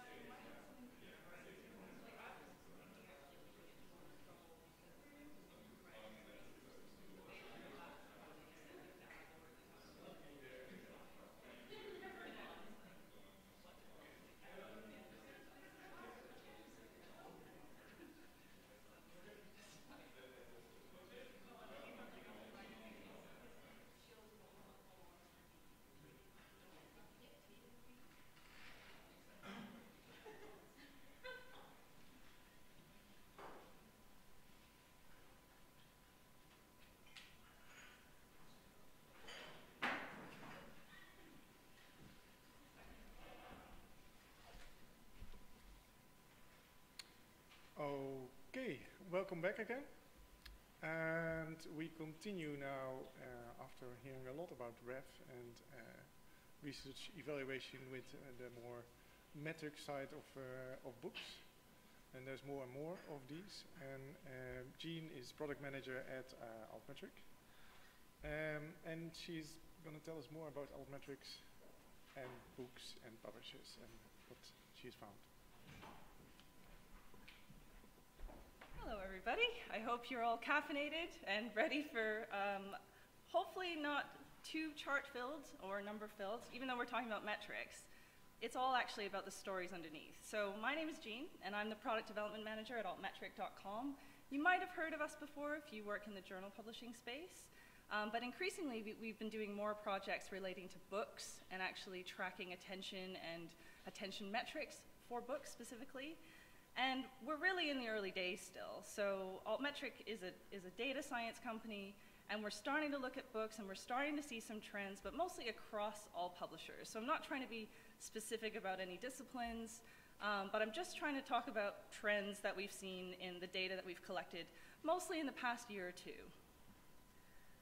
So I think it can be agreed that at the moment, metrics, as we call them in terms of evaluation and assessment, they're pretty scarce when it comes to books. So you might end up with, you know, sales figures as your main um, source of metrics. Downloads sometimes, and that depends on the publisher. And certainly, if you are a print-only book, you're not really going to be looking at downloads. And citations sometimes. Again, depending on the discipline, depending on the publisher, um, and depending on if those books have been indexed in a particular citation database.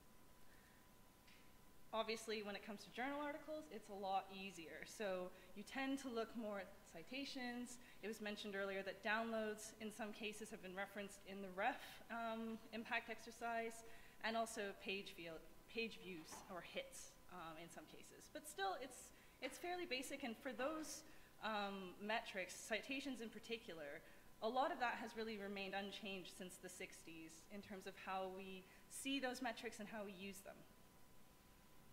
So in 2012, which is actually incidentally the year that I joined Altmetric, not saying there's a coincidence here, but Altmetrics began what we see as a very meteoric rise in journal publishing. So if you don't know what altmetrics are, they're alternative metrics. So we were think thinking before about traditional metrics, which tend to lie in terms of citations, and we're just thinking about something that could sit alongside that, not replace citations, but really um, complement them. Things like news mentions, which are already important to a lot of researchers who have their work cited in mainstream news.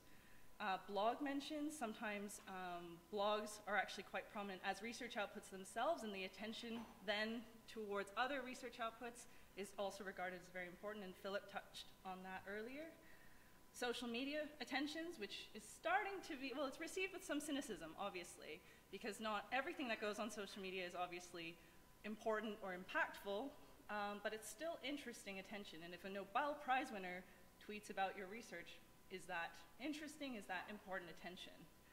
And then, probably most interestingly, policy mentions, which up until now has been quite um, overlooked area in terms of citations. So you could consider them as a form of citations, but they're not scholarly journal article citations of other works. so with all the progress that's been made in journal articles, publishers have started asking the exact same questions for books. So things like, who is talking about my books? So I've just published something, it took a long time for the author to write, all the chapter authors to write, um, and so who is actually looking at it? Are they reading it? Are they understanding it? Are they debating it? Where are the conversations actually happening? So, in terms of channels online, are there particular social media channels that people are talking about books? Or is it particular newspapers, other places um, that I could be looking at to see that kind of attention? And then how can I actually leverage that attention? How can I use it in a way that benefits uh, me as a publisher, the author, who spent all of their time, and it's very integral to their career. Why would they spend all this time writing that book if they couldn't use um, the post-publication attention in some way? So all that's very important. And so for our company, um, we've been, books have been on our radar for a very long time. So we've focused mainly on journal articles to begin with. In 2012, when we started officially tracking um, most of our attention sources, we were mainly tracking attention for journal articles, some data sets, and a very limited number of books. Um, actually, Springer Nature was one of the first publishers that we were able to track attention for, mainly because they tag all of their content with DOIs. So as a byproduct of tracking the journal articles, which also have DOIs, the books kind of came with it, even though we didn't actually distinguish between them in our, in our database as being different. So it was just things on the web with DOIs, digital object identifiers, and that kind of went into a big bucket. So we started off by tracking those. In 2013, people started thinking, you know, what other things can we track? Does it have to just be journal articles? Can it be things like news stories or press releases? And so we sort of experimented with that. That was where we first started looking um, at tracking URLs, not just things with DOIs, but things that were just web pages. So um, we moved on then to quite a significant collaboration. So, you know, we skip a year in there, but the biggest innovation that we um, then went on to was our collaboration with Springer. So before it was Springer Nature and just Springer, and we helped to book, build a platform called Bookmetrix. And this was a platform that allowed um, authors, Springer authors, and editors to be able to see their Springer books and look at a whole range of metrics, not just alt metrics, so these alternative metrics, but citations, downloads data, and so on. So it's quite, it's quite interesting and um, a bit of an experiment for us just to see how people would use this kind of product and how valuable the data was to them. Um, simultaneously, we kept on tracking other kinds of research outputs. You know, from the medical community, there was quite a lot of interest in tracking clinical trial study records. So this is a very interesting source of pre-publication um, attention. So before a trial is even published as a journal article, um, what is the attention when it's in the recruitment phase, for example? and then further, further work on web pages or URLs. And the web page thing is actually quite important. I think it later became clear to us when we were really looking at books how important that ability to track web pages was. Because when we started working just last year um, on our Badges for Books offering, we partnered with Taylor and Francis for Routledge Handbooks Online. Um, we could start to see that not, you know, Taylor and Francis had DOIs on their content as well, but increasingly, when we were coming across other publishers, we'd see that they didn't have these kinds of identifiers. And I'll touch on that in a bit. But basically, these URLs also help us to track books in a way that we didn't initially anticipate. So we continue to track things um, on sites such as Google Books, which is very highly linked to by a lot of academics. Um, obviously, that comes with a whole bunch of non-academic books as well, which is also interesting to compare the attention. But I will mostly be focusing on academic publishers here. Okay, so we've seen that timeline. What have we actually learned out of all that? So th in the previous presentations, um, it was mentioned quite a lot that journal articles are a completely different beast compared to books. And you know, just in looking at the format, they're short, peer-reviewed, so the peer review process does take a while, um, but it's usually original research or some kind of review or a very specific topic, but it's very compact. So a researcher could potentially produce many, many, many journal articles um, compared to books.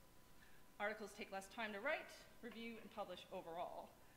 Books, on the other hand, are longer, in depth, and they're expert analyses and reviews about specific topics, and it's for readers who actually want to dig deeper into a topic as opposed to just get the latest information. So also in terms of the actual publication cycle, books take a long time to write, I mean, they take probably a long time to commission in, the first place, but also to edit and to publish. So they're, they're different things. And so you kind of expect that everything else is different too. So the trackability of those outputs and then the subsequent attention that comes with it. So trackability is really important, and that's been a major thing for us um, when we've been actually trying to collect the attention and match them to the right output. So with journal articles, just look at all these identifiers. I mean, it's a veritable playground of identifiers you can choose from. There's DOIs, there's PubMed IDs, arXiv IDs, there's so many. And because everything is so well labeled with these identifiers on the web, it's quite easy to disambiguate between versions. So it doesn't matter if you put it on an institutional repository page, if you put a DOI on it, we'll match it to the publisher version too. So that is quite, uh, it's a useful link to bring all those different parts together. Books, on the other hand, are very difficult because really these are kind of the main trackable identifiers. ISBNs are in no way similar in their use to DOIs, but we still use them because they are unique. DOIs are probably the best ones that can be used in, in terms of how easy it is to fit into the existing altmetrics tracking infrastructure. Then you've got URLs, like I mentioned, so books that don't have any kind of identifiers, they just have a web page that represent the book um, in digital form. And then you've got HLOM IDs. So these we came across actually in a project when we were tracking syllabi mentions. And HLOM stands for Harvard Library Open Metadata. And it's run by the Harvard Library, and lots of library systems will have their metadata openly available, but they are also not necessarily widespread in their use, and also sometimes there's a lot of messy data. So it's very dif difficult to disambiguate, you know, how do you track, is this page representative of the ebook, the print page, the hard, the, sorry, the paperback, the hardback? They're all different ISBNs usually, and sometimes you get multiple records for the exact same book, technically, content-wise. Um, but you'll get lots of different altmetric records, and the authors will sort of be like, Where, where's all my stuff? Can you just put it in one place? Put all the attention in one place. And that's quite challenging when it comes to books. Additionally, there's inconsistent metadata uh, formats across publishers. And it's quite noticeable, actually, when you look at um, places like Google Books, where it's just filled with the randomest metadata that you can imagine, and then different publishers and try and compare between, say, Google Books and the publisher it's all very inconsistent and quite um, tricky to navigate. And I mentioned earlier about um, the importance of tracking URLs. So URLs are really, really important when you get to books that are published in 1890 and don't have any sort of ISBN, such as uh, the great collection at the Biodiversity Heritage Library, um, which I believe is run in partnership with the Smithsonian. So with them, we actually were able to track quite a lot of really interesting attention because people are interested in these vintage books um, all of the old um, biology drawings and diagrams and things from the past. But the way we could track them is really with a URL. So without any other useful IDs, the URL, just having that record of the book online is enough. So that's quite useful. And then when it comes to attention, this is where it starts to get quite interesting because we're still in the really early stages. So this whole section is really, um, the, the caveat should be we're still in early stages of tracking books, so some of the data will probably change, even looking at the same time period as we go on. Um, but for journal articles, we've been tracking that, um, them pretty reliably since 2012. Um, we can see quite a lot of the top sources of attention being social media, mainstream news, blogs, Wikipedia, and also peer review platforms, which are super active when it comes to people critiquing different works. So PubPeer and Publons, these new like post publication peer review platforms. Well, it's a lot of P's in a row. Um, and there are quite a lot of, um, there's quite a lot of, of activity in those five sources. But when you look at books, it shifts, and that's quite interesting. So again, right at the top, highest volume attention is for social media, and then news, and then blogs. But then you've got at number four, course syllabi. And we started tracking course syllabi through um, Open Syllabus Project, um, which is run by Stanford, people, I think people from Stanford. And um, it was so interesting because it completely changed that landscape that we see, just the typical altmetrics landscape, but for books specifically. And it makes sense because syllabi um, usually have recommended reading lists, and those lists usually include books, and mainly books for education. So that's quite interesting. Um, and then Wikipedia is in there as well. And if you look at the charts, so these two charts um, are pulled out of our, um, our browsing platform called the Altmetric Explorer. Um, and you can see the volume of mentions is very different. So the, the, the, time period I focused on was between anything published between 2015 and 2017, January 1st. Um, journal articles have about 15.5 million mentions over that time period, um, with almost 2 million articles contained in that set. And that averages out to be about 7.8 mentions per article. For books, you have 300, over 300,000 mentions, so a lot less than the journal articles. Um, you've got 48,000 books or so, and that also averages to about 7.6 mentions per book, which is very interesting to me because I think our original assumption was that people don't really talk about books that much. But I think this has challenged that assumption, and you know, perhaps they're talking about it the same amount. They could even be talking about books more because we're not capturing places where they only mention the book title or have a picture of the book's cover and they don't link to any record that we can find. So this is probably an underestimate, which is interesting. And of course, when you look at the actual raw data, so these are some tweets, some things are always the same. Authors love to brag. So, you know, journals, check out our editorial, tag all my friends, hashtag.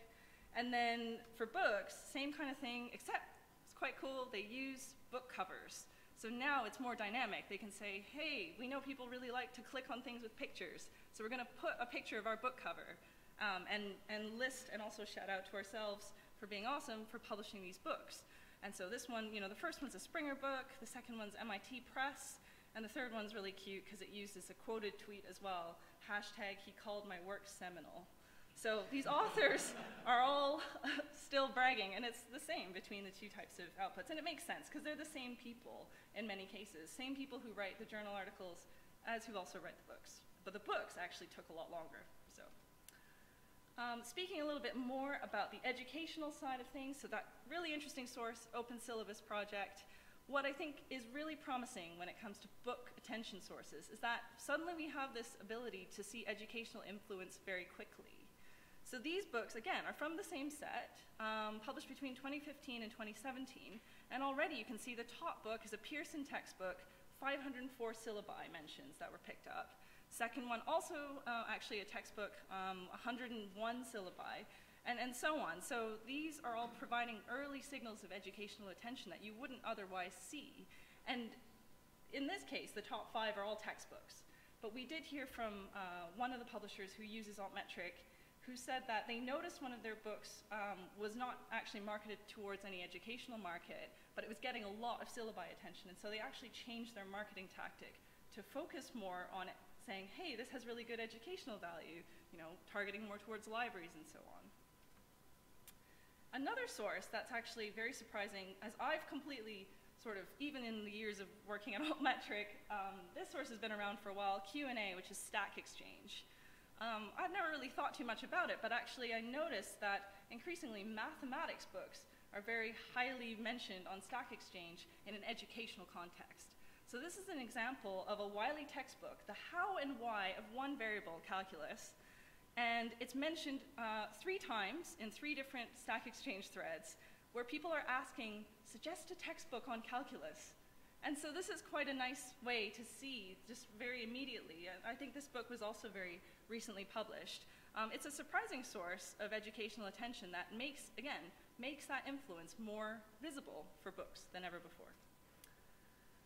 And when it comes to other things like news, which are really the, the big sources that publishers and authors together both care about quite a lot, um, it's quite interesting actually how the news coverage for books, or the news mentions rather, is different from news mentions of journal articles. With journal articles, we tend to see things like new leopard discovered in you know, jungle, and it links to the paper. So that is one article devoted to one, uh, or sorry, one article as the focus of one news piece.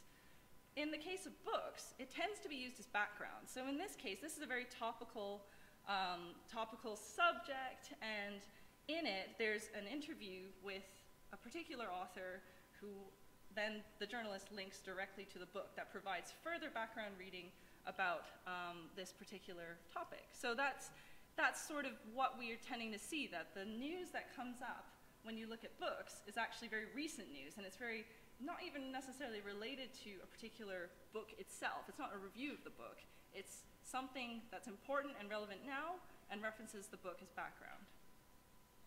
And you also increasingly see things like book authors becoming the journalists themselves. And for outlets like The Conversation, where there's a lot of primary researchers who are writing about things in, uh, for the general public.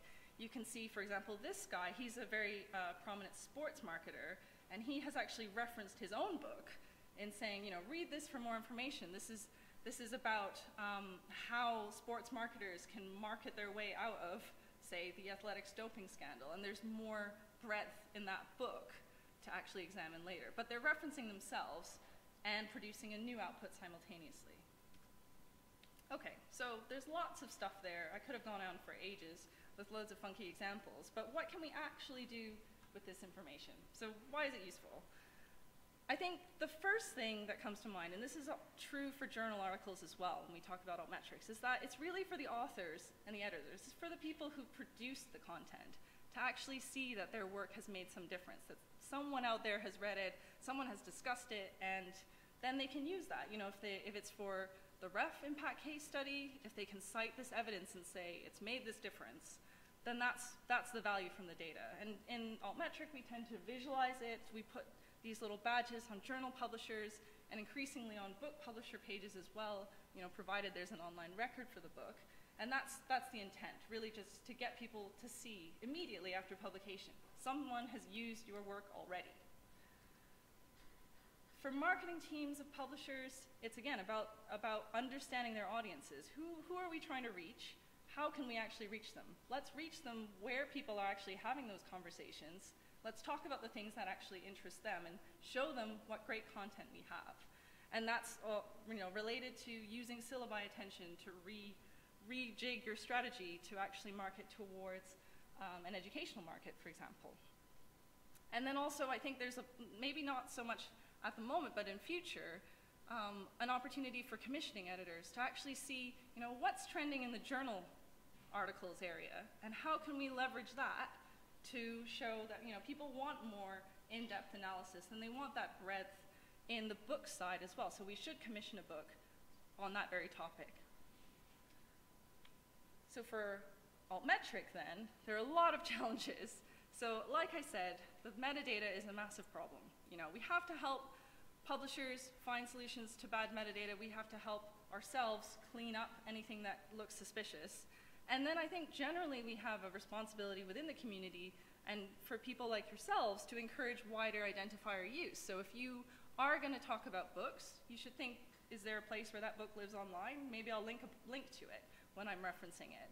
Um, and you know that's going to take time, obviously, and increasingly journalists are starting to link to journal articles. It's even in that sort of sphere, a lot of stuff gets missed because people aren't linking to the journal articles either. With books, it's an even bigger I think, cultural shift, but I think we should try and um, encourage it nevertheless.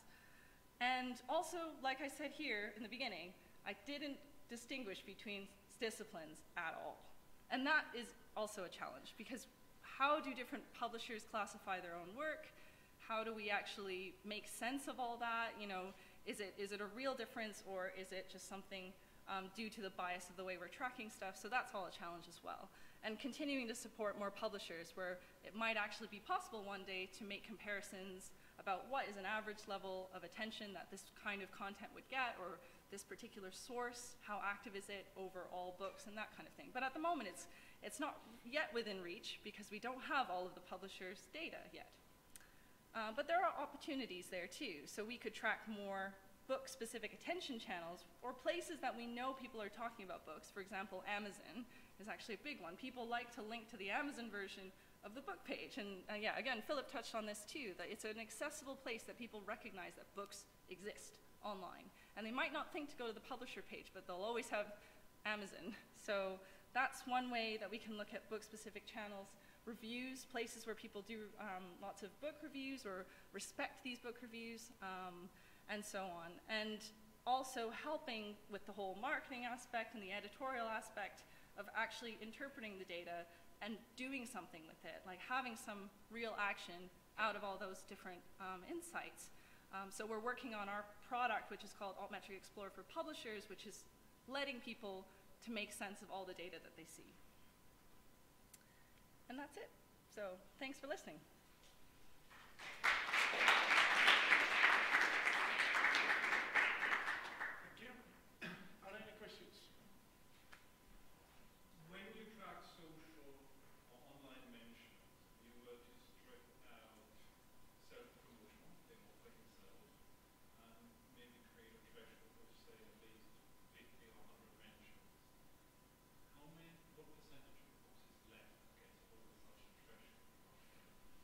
So this, I actually have, I don't really know if I can even make a guess. I mean, our venerable CEO is in the audience. I don't know, you and if you have any idea. Yeah. Yeah. Well, so that's what we thought, but actually books, for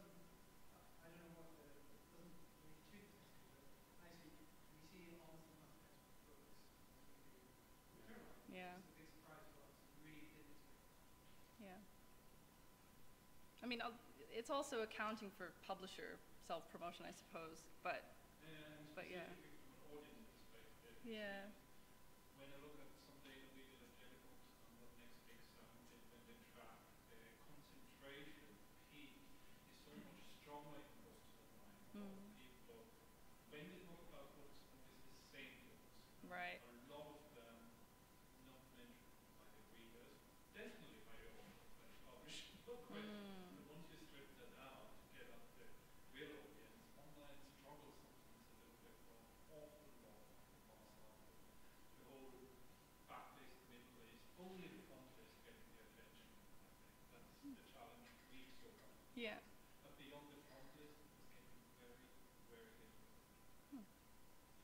Well, I have some, some more data in my talk later on, a little bit cliffhanger. don't worry. uh, but yeah, it's looking as promising as, as you would. Yeah. I mean, there is so much more data available, or not so easily available, but maybe um, you could extract it and uh, or, uh, un- uncover it. And I'm wondering if you're working on some more sophisticated um, measures that, that could be um, uh, that could be collected when you think about books. I mean, for just an example that comes to my mind when you are um, looking at um, usage data. Um, maybe the much more interesting figure would be how many different people have actually looked into the book. Um, because if one person every day looks at a certain book for whatever reason, maybe this is generates a lot of usage data then, but it's not so relevant. Yeah? But um, if you if you take the the total number of a certain uh, of certain researchers in one area um, as the maximum number of, of uh, um, useful readership um, as a as an upper threshold, then it would be really interesting to see how many how, what is the percentage of your community that actually has uh, read the book. So is that something that you could also think about uh, collecting? Or um, one more example could be mentions alone could be positive and negative. I mean, you can mention a book you say, I've read this book and this is terrible because it's full of errors. And then in, in, in, your, in our usual metrics, uh, we would celebrate this book because it's mentioned by everybody. But in the end, it could be a very negative um, assessment uh, from for some of the community. So we could also look into um, was it mentioned in a positive way or in a negative way or in a neutral way? We could do much more about it. So are you working also on these um, alt alt metrics? Oh, so that's that's a really interesting question. I think at the moment our we're sort of almost a step earlier, a slight step earlier, where we're not even we want to actually be able to get as much of the mentions as possible. So just finding them in the first place, so that we think right now this the set that we have, so the mentions that we have right now, could be an underestimate of the true value. And so we're doing things like refining our text mining, for instance, so we can pick up the ISBNs in actual text, or in future the titles of the books and that kind of thing. So we're looking at those kinds of things first. Sentiment analysis is in- interesting because it's come out um, come up a lot actually when we were doing um, journal article tracking in the first place in the context of Twitter. I think with that, we, there were some studies, and basically the reason why we haven't delved too much into it right now is because a lot of the tweets actually end up being neutral. And then when you have such a small data set like we do for books at the moment, you could end up actually angering the author if you miss, so words, uh, and even like I think the, the algorithms aren't perfect, but for example, words like cancer turn out to be very negative. and then if it's actually a cancer researcher, they'll be like, why have you marked this as really negative attention? I, I mean, that's a simplistic way of looking at it, but I think, you know, we still have a few ways to go to get that full set, and then I think we can do some really interesting intelligence. I'm not ruling that out, obviously, and I think usage stats are something that we want to look at at some point in the future too, because we've been, that's obviously something that people are very um, uh, keen on and, and focused on and currently using. So, um, yeah, not at this stage, but soon, Yeah, hopefully. maybe to, to add to this, to a degree, the data is in the Mendeley. Uh, Yeah, a little bit, stats. yeah. So you can see there who's been reading, the, uh, if, if they have opened up their, uh, their information. Yeah, and the whole issues about metadata as well. If it's like cataloged in a way that Mendeley recognizes, and you have an account, you might be able to see the unique readership and Yeah. you know that kind of thing. But again, that's a proxy right now. I think we need to gather more information before we can really do those really awesome things. Uh, y- Yeah, um, actually going in the same direction, getting more data. But uh, you almost answered a bit that you're now looking more into picking up the, the title of the book rather than just the link. But uh, I remember um, very good post when I was thinking about impact marketing from last year, but think about citations, whether we should look at the total number of citations, but or rather how an author is engaged with the work throughout a piece of scholarship.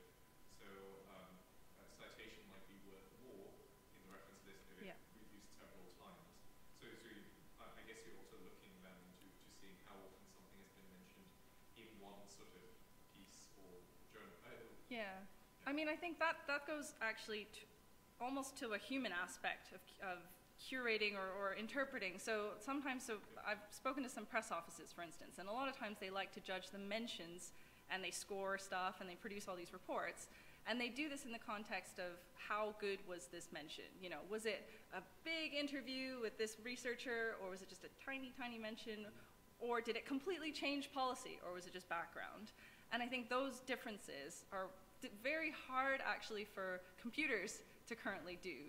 But at the moment, our, our angle is really that we want to build the tools to enable people to find that more easily.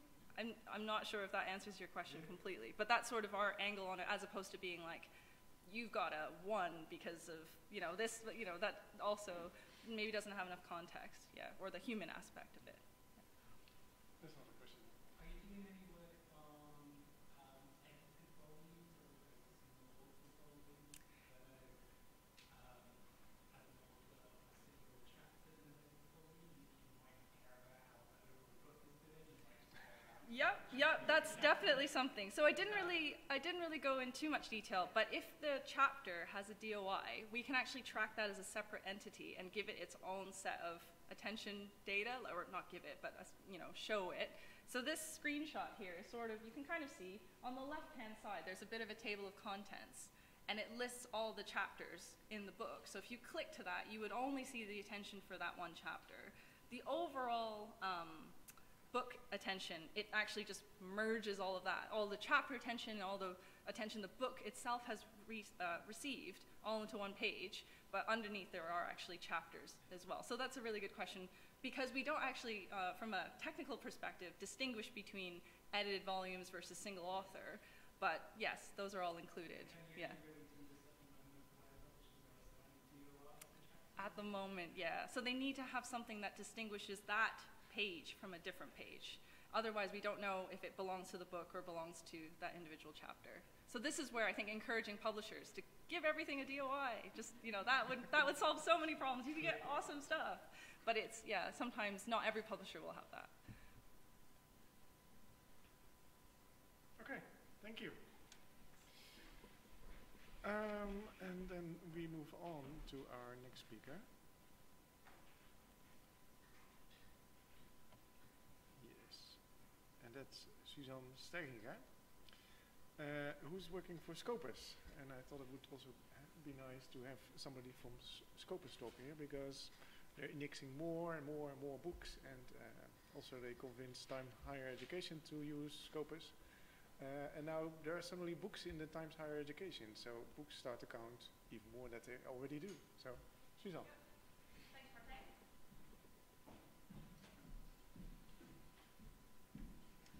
So good afternoon, my name is Susanne Steiginga and I work as product manager for Scopus Content in the uh, headquarters.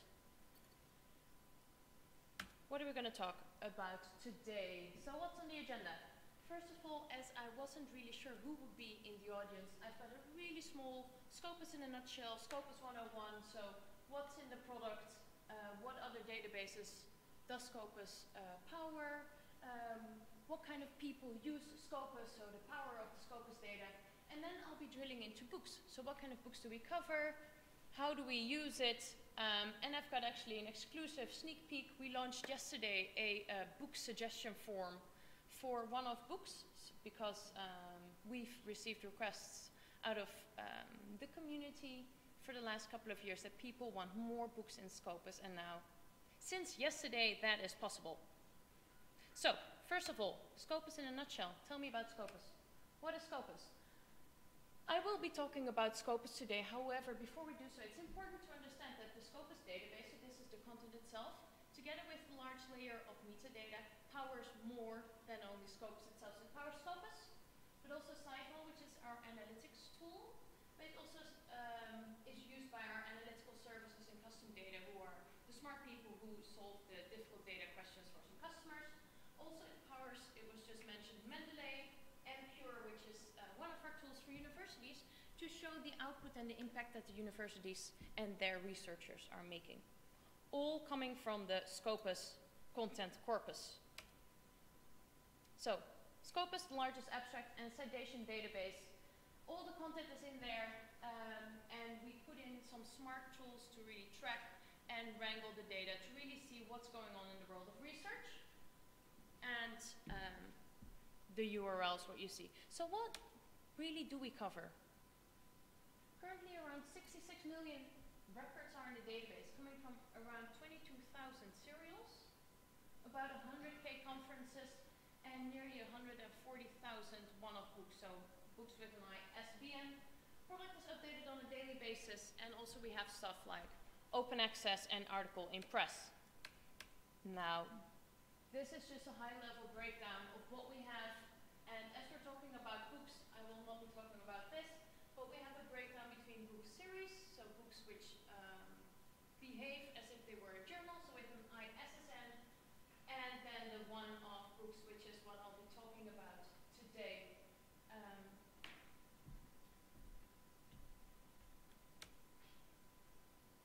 ah, and this is a further breakdown. So even though Scopus is an Elsevier product, this doesn't mean that we only have Elsevier content in our product. We have content from about 5,000 different publishers currently covered, and you can see all the usual suspects, if you will, Springer, Nature, T&F, Wiley, Blackwell, Sage, etc., but also a really long tail of other publishers. And it's important to understand that content from any publisher needs to adhere certain criteria and the same criteria. So we reject content, suggested content from Elsevier at the same rate or for the same reasons as we would reject content from other publishers. But now, ah, oh, sorry, I thought we were one topic further. The power of Scopus data. So who uses Scopus? About 3,500 research organizations and about 150 funding and assessment bodies. And you see a few rating agencies which rely on Scopus. So Times Higher World Education is powered by Scopus, Westerab News, uh, Financial Times Maclean's, which is a Canadian uh, university ranking. This one belongs actually to Shanghai Jiao Tong, where we do the mainland China ranking. And we have a 10-year deal with QS World University ranking. So everything you see here in the, or when you see the rankings coming out, this is all based on the content in Scopus. Now, who else uses Scopus? Um, few well-known names. European Commission uses Scopus. Um, European Research Council. What, what you also see here are certain or a few national research assessments, as the ERA in Australia. You have it in um, Italy, and you have also the uh, REF in the UK, which also are powered by Scopus. But you also see here the NSF, National Science Foundation, and the biggest funder in America, which uses Scopus. So, for example, what does the NSF use Scopus for? They use Scopus data um, to produce certain reports. And what you're looking at here is the um, SEI, so that's the Science Engineering Indicators Report, which is published twice a year. And um, it's a report which um, tells you everything that's going on um, in um, science and in engineering. So, what kind of initiatives are going on, the size, the scope, the viability of these initiatives.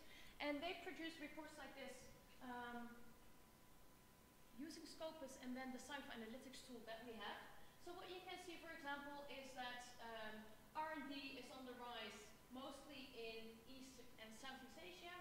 And for example, also they did an analysis in terms of subject areas, so, so which subject areas collaborate the most internationally, where you can see that is astronomy, where over 50% of all astronomy content published is published via an international collaboration. Stuff like that is what the NSF uses our data for. But now let's talk about books because that's why we are here today. So, the last few years, until early last year, we ran a book expansion program, and this is Books with an ISBN. Um, what was in scope for this program? Scholarly books, fully referenced, and original research was mandatory. Why did we do this for social sciences and arts humanities? Because around 80% of the researchers in those fields only publish in books versus in journals. So in order to um, accompany the needs for those researchers, these books were added. We went back to 2005 for STM and social sciences and 2003 and forward, of course, for arts humanities. Um, by the end of the program, we had around 130,000 books and now nearly 140,000. And um, we made kind of a shifting in terms of book types which we were interested in. So stuff like monographs, edited volumes, um, those type of books were welcome. However, we also deselected quite a lot. Dissertations, popular science books, manuals, stuff like that is what we filtered out. And why am I telling this? Because what we did is we acquired full, or we received, full publisher book archives where we made the selection ourselves. So um, the book selection was done only on a full publisher basis. So we never um, accepted any single book suggestion. So if you're a publisher um, and you were selected by us, then we would receive your full archive going back to 2005 or 3, and then we would make the shift in um, what was what was um, what fit our scope basically, and everything was then loaded into Scopus after, of course, a um, quality check. So, why did we now add those books next to um, what I already mentioned in terms of social sciences? Here it is again. So, to complete the author profiles of the researchers publishing in social science and humanities, by adding in these books, their author profiles become more complete, but also their h-index becomes more correct. Adding these books makes them more discoverable for people around the world due to so many people having access to Scopus. Having your book in Scopus helps. Makes it more discoverable. Also, uh, to measure impacts, because books often cite journals, so this makes our citation count in journals more complete. But also by adding in the books to Scopus, you can see what kind of citation they've already have received. So that tells you something about the impact of the book. And also, don't forget the researcher itself. We do a lot of national research assessments. So if we don't have these books, people in arts humanities and social sciences will have a harder time on uh, uh, when they are uh, when they look at performance um, because their books are just not in Scopus. So by adding in these books for the national research assessments, they are um, yeah their scientific output is uh, better visible. So, what have we added over time? Last three years. First of all, you see here a breakdown in terms of publishers. Big one, T&F. We've got a lot of their books. Springer Nature, of course, because they have a lot of books. Project Muse, which is a platform where multiple different publishers uh, upload their books. And we have a lot of university presses. So Cambridge University Press, Oxford University Press, Wiley Blackwell, you see Elsevier here. That's high level breakdown what it looks like today. And as said, as you would expect, majorities are humanities and social sciences. However, other STM um, topics were welcome too. Now, where are we today then? About a year after the project closed. I already mentioned we've got around 140,000 books in the platform today, and uh, which add up to about 130 um, 1.13 million documents. But what does this now really mean? Because, for example, in Springer Nature, um, 130,000 books, eh, maybe not so much. So I did a little comparison to our main competitor, Web of Science, and according to their book list, they have around 60,000 books, and that's a comparison between both serials and non-serial books. So everything on top of each other is 60k, while we at Scopus have more than double. We've got around 172k, where you see 34 comes from serials and 130k comes from one-off books. This just to give a little bit of background as to what these numbers mean in a platform. Now, what kind of a result has this, us adding these books had in the community? And Martijn actually already mentioned it. Times Higher Education added books um, to their ranking because of us adding so many books to the platform. So that is fantastic. So, and here's a quote from Phil Baty. Uh, the addition of books ensures that the rankings go even further in capturing research excellence in the arts, humanities, and social sciences. So there you go. That is direct results of us adding these books to Scopus. Now, how are, the, how are these books used? How are these cited? These are some high-level numbers. Average citations per book, broken down in subject areas, broken down in a total. Physical sciences, life sciences, health sciences, and social sciences, where you can see the per book in physics is around four and a half, just below, and the lowest citations per book are in social sciences. However, interesting, if you look at the top-cited subjects, so um, which books are cited most, you here see social sciences. So this means that social sciences, the books overall are added most, however, the number of citations they receive is the lowest,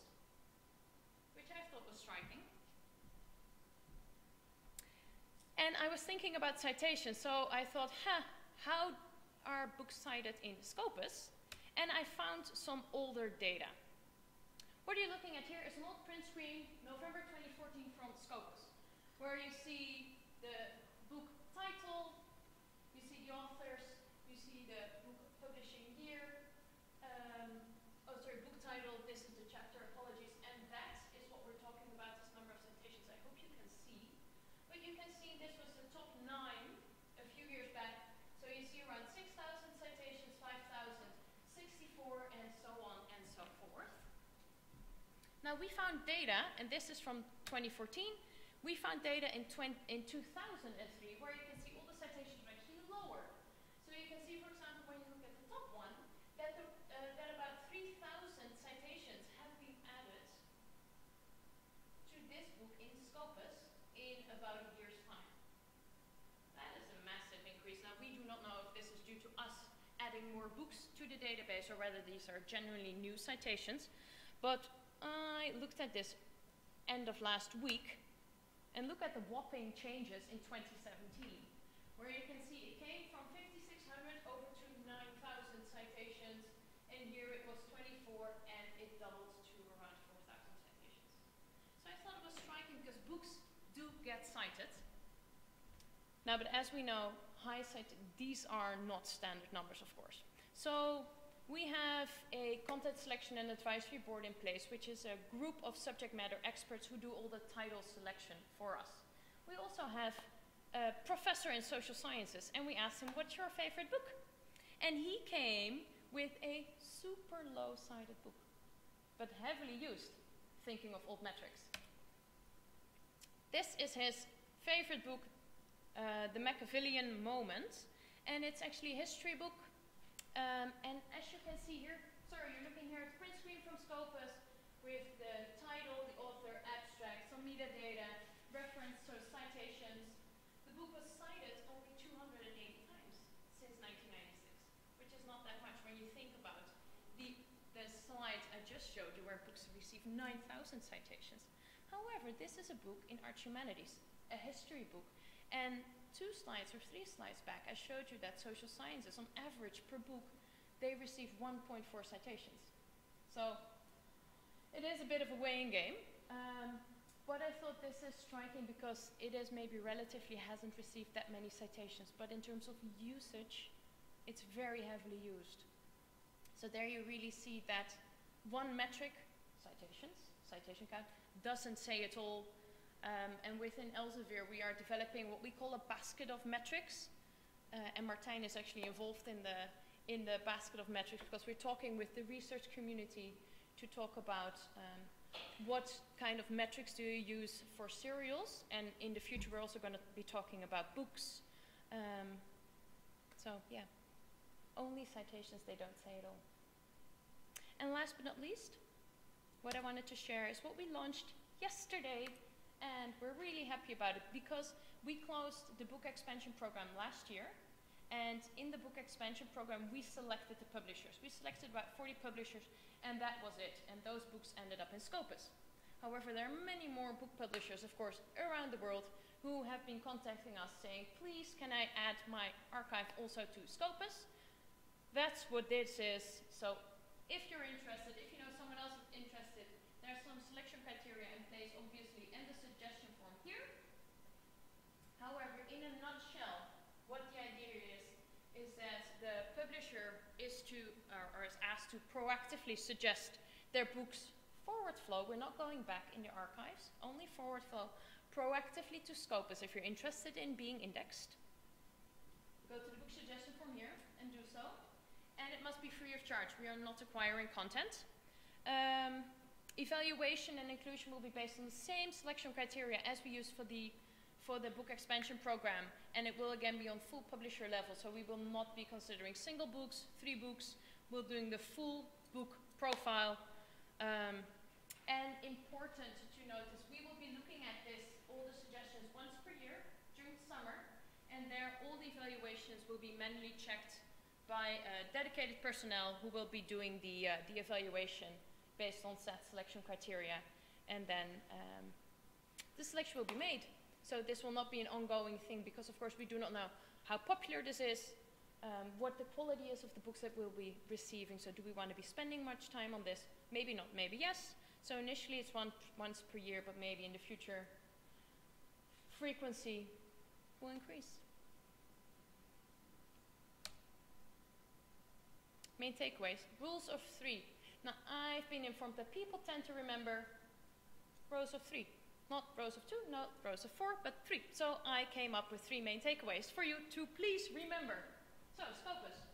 Broad and deep content coverage is what we have, uh, which gives you a comprehensive view on the world of research. And that's also why big organizations like uh, the NSF, what I've been talking about, rely on Scopus for their decisions in science. Also, what do we cover? About 140,000 books. And we add them to make them more discoverable for the users, for the buyers, uh, and especially to uh, accompany uh, researchers in social sciences and arts humanities and make their author profiles more complete. And more high quality books are expected later on this year due to the freshly launched book suggestion form.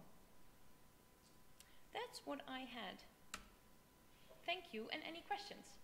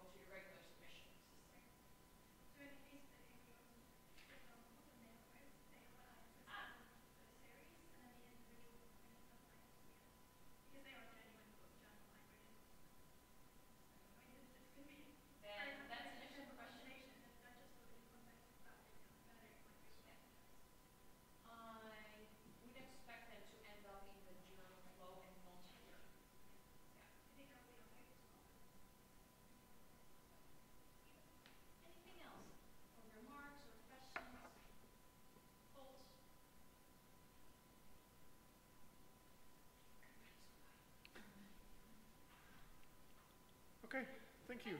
Then uh, I think I'm next.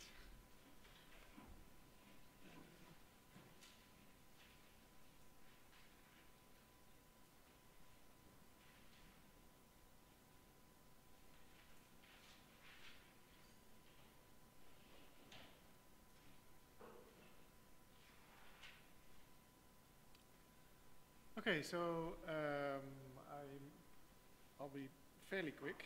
Um, I hope most people know what Bookmetrix is, um, but um, just to briefly remind you, um, I wanted to show you this one because I think this is really what drove us to do more uh, around books.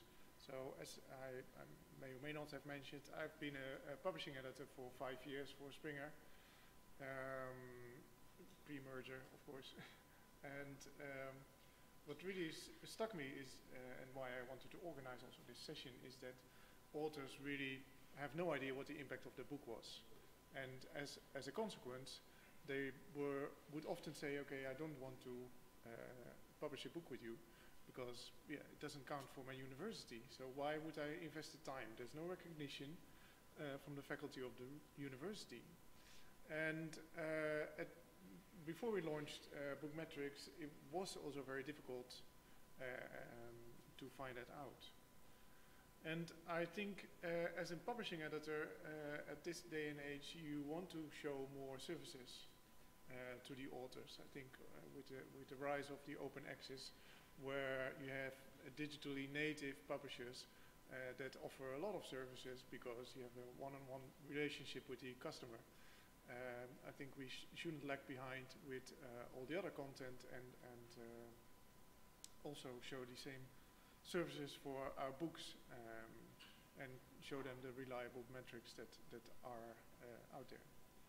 And so, in a nutshell, we, we pulled together the information uh, about the attention paid to uh, the use of and the impact of books in one platform. And, and it turns out that uh, books actually benefit hugely of these new ways of attention and impact. And um, now most of the citation databases, I'm a bit scared to say this now after uh, having heard uh, Suzanne talk about the expansion project, but uh, there's still an underestimation of, of the impact. Uh, and uh, we have in Bookmetrix 230,000 books, and they're all indexed um, in, in Crossref. And uh, the scores that we found are also a little bit higher. So we have uh, uh, 20 citations per book across the 100,000 English language books that we have. And just to show you, um, first of all, as a comparison with um, uh, the article, average article citations, uh, I pulled one from Thomson Reuters. Uh, you see that it's a lot lower. And also the shelf life of books is a lot longer with uh, 20 to 30 years of uh, cited half-life. Isn't this change in citation, uh, in received citation maybe due to you only looking at Springer books, right? Who are, which are yeah. the top of the top, and with Scopus we have content and we books. Yeah, it could well be, could well be. Right, that's I think what yeah. yeah. Yeah, I didn't know that you were showing data as well, so it's interesting to see the two uh, different numbers. And uh, I also pulled up uh, an example. This is, of course, a very uh, famous example, but still, it's from Hubener who discovered DNA. And what you can see is that the number of citations is still rising over the years. And, and there's, there's many books that I could have pulled up here and show that the number of citations is still not even close to a plateau. So um, and uh, the same we see for the altmetrics. I think uh, uh, Jean already showed a lot of data here. Uh, but again, here is an example published in 1991, and for whatever reason, somebody decided to cite it in a blog. You see this entire spark of uh, social media activity um, around this book. And so also here we, we uh, looked at the books published before the year 2000, and we had 42,000 mentions to these 80 98,000 books. And so after the launch of Bookmetrix, we see a little bit of a slowly starting change. That, at least that's my optimistic view. Uh, we have the, the, Against the Grain article about altmetrics and books. Uh, the Times Higher Education to include books in, in the university uh, ranking. And then there was this uh, article during the Frankfurt Book Fair about uh, alternative assessment uh, which also included uh, books, which I can highly recommend you to, to, to read. And so uh, we've been working on book metrics for quite some time, and we're adding um, new features. And one of the key drivers is still what I showed in the first slide. How we can we help the, the authors to better show the impact and the reach of, of their books. And so one of the features we've added very recently is uh, the print book um, report, uh, which is basically um, enabling the author to, to get a report of the key data for his book to add to, to his REF or to his university assessment or whatever you want. And so basically you just, oh, it went a little bit too quick, but uh, you, you click on the, it's now renamed, but anyway, it, the print one on the uh, right, and uh, going entirely the wrong way. And then uh, you get an, an overview, and this is then of course not from this book, but you, you get the point. uh, showing the citation data, the online mentions in a nice uh, uh, PDF. And the other thing is that we're adding is uh, um, to highlight the quality, take an, an, another step, uh, not only the books but also the book series. So this is still a work in progress, uh, which will go live probably in the next couple of weeks. Uh, but we're going to aggregate also the book information on a book series level. So what you see here is uh, a, a, book series called uh, Active Volcanoes of the World. Very nice, I presume. And this is the citation behavior of this particular book series, and it will give you some feeling of the quality or the impact and the reach of a book series rather than um, uh, than, a, than a standalone book. And um, triggered uh, in a way by the, the, the, the, all the whatever countdown things you have before Christmas. Um, at least in the Netherlands, we have the, the top 2000, top 2000 of uh, songs most popular. I uh, also looked into the books that actually make an impact. And, and getting back to your question, uh, you know, what's now the book, the impact of the books that have been published last year, in last year? And, and these are the books that uh, are out there and I'll uh, dive into them. And I was actually very much surprised, and, and we're only uh, scratching the surface here, but um, they are very much alive, the books, and they are used in academi academia, just like uh, journal articles. And so, uh, for example, across the, the, uh, the books that we published in 2016, uh, we had nearly one citation on average per book. Uh, and for the mentions, we had nearly, uh, we had 4.5 uh, mentions across these 11,000 books. And so we saw that 25 of the books already have been cited. So even though they have been published in 2016, that's something you don't see a lot with journal articles. You know, usually it takes a year before an article is cited. So that's actually a pretty damn good score. And uh, for the online mentions, we see the same. So what Jean already said earlier, you know, people start to tweet about a book, but also others tweet about a book, and that's what you see there, the 42%. Wrong way. um, and so this is the top five of the uh, books from Springer that have been cited. And uh, yeah, you can see, actually, something changed because I wrote this just before Christmas, and after Christmas I made this print screen, and then there's a, change in the ranks. Um, so, yeah. I guess scientists just continue over Christmas and continue citing. so rather than the, the whatever uh, degenerative uh, 60, uh, 76 uh, citations, it now has 100, which is fantastic. But uh, and uh, so diving into these citations a little bit more, what do we see? Well, actually we see the same sort of behavior actually as within journal articles. Sometimes you see self-citations. So um, these are citations within the book.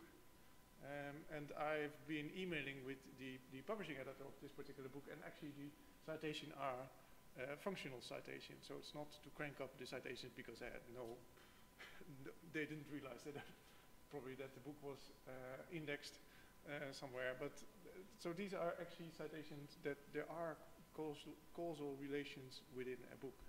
So they make sense. But um, we also see citations from, um, from, from journal articles to books. So these are journal articles published um, in, in 2016, citing the book that was also published in 2016. So very relevant data. Um, then uh, about the online mentions, uh, the, the, the altmetric, let's say. So these are the top five of dimensions, and uh, there's not a lot. There's a bit of change, but not too much. Um, And uh, there also uh, we see a little bit the same as with journal articles. So books are actually the same as journal articles. Who, who thought that? Um, so with journal articles, I've been a, a, a community manager for Springer Neuroscience um, for some time, and, and usually the ones that are tweeted, uh, the articles that people tweet about, are about, uh, let's say, sex, drugs, and rock and roll. And that's what you see here as well. Then uh, teaching gender and sex, of course, people tweet about that, they like that. But it's also other stuff. So there, there's a couple of reasons why people tweet. So uh, the, the second one, the Safer Healthcare, is one that's an open access book. So a lot of people tweet about it and say you have to read this because it's it's important now in the in the Obamacare uh, debate. And then apparently there's a there's a company uh, who's tweeting, and uh, that's not too surprising, but they have a lot of retweets there, uh, 285 retweets about the technique that's actually working. That's the that's the, the methods book, the peptide microarray uh, which is why they have a lot of online mentions. And the last one is actually a quite nice one. Uh, it's about the pattern recognition.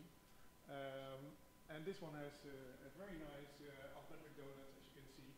It's discussed in many news outlets. And we're still talking about the book um, and in blogs and Twitter and Facebook, and it's about and and and yeah, and, and I don't really know exactly, but I think what I understood is an algorithm that can morph a video using the art that you see there. So you use the art there and it morphs this uh, Ice Age movie into a sort of a uh, prehistoric thingy. You have to look up this movie and uh, because it's really quite nice. So that was published in, in these uh, conference proceedings, so that's uh, the same. Then uh, the top five downloads, there we see also a lot of conference proceedings so the first and the last one, uh, conference proceedings, the handbooks, of course. Uh, you see a lot of downloads typically, uh, but still uh, half a million chapter downloads in, in less than a year is quite respectable. Then the last um, um, or addition that we did to, to Bookmetrix is actually uh, cooperation with GRID. So GRID is uh, the Global Researcher Identifier Database, or basically it's an ORCID for institutions. Um, and so uh, Springer Nature has is, is working now with GRID, and we're adding the GRID identifiers to our, our content. And Bookmetrix is the first one to actually uh, benefit from this uh, development. So we sucked up all the GRID IDs, and you can now click on them, and you go to a page like this one nanoscale imaging is one of my last uh, books that I published. Uh, and you can see now there's uh, Antoine Triller, who is from the University of Bordeaux. You can click on it and you can see, oh, Bordeaux is actually in France. So that's nice.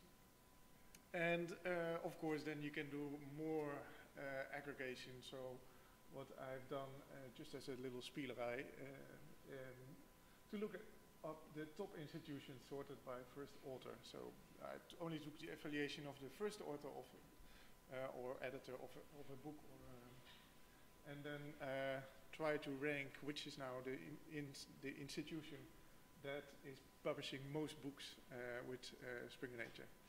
Uh, so this is a list, and I hope you like it. Maybe you want to know what it is. uh, which was a little bit of a surprise to me because uh, um, here we go. it's, it's, all in Germany, except University of Zurich. So there must be still something with our German roots uh, that uh, determines this. Uh, but uh, yeah, I mean, this is across all time, across all books. so we have to further sort this out, but it was quite funny was when I was do when I did a lot of data crunching in Excel with all these zillions of books and uh, institutions that in the end it's just Germany. so these are um, the things that we are doing. Um, are there any questions?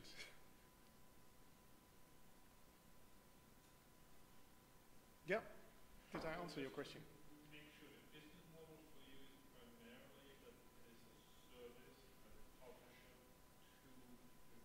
Exactly.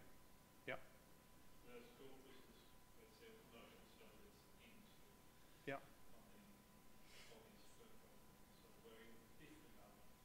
Yeah, yeah. I think this is really what we want to do is to provide a service for the author to show his impact uh, and the reach of his books.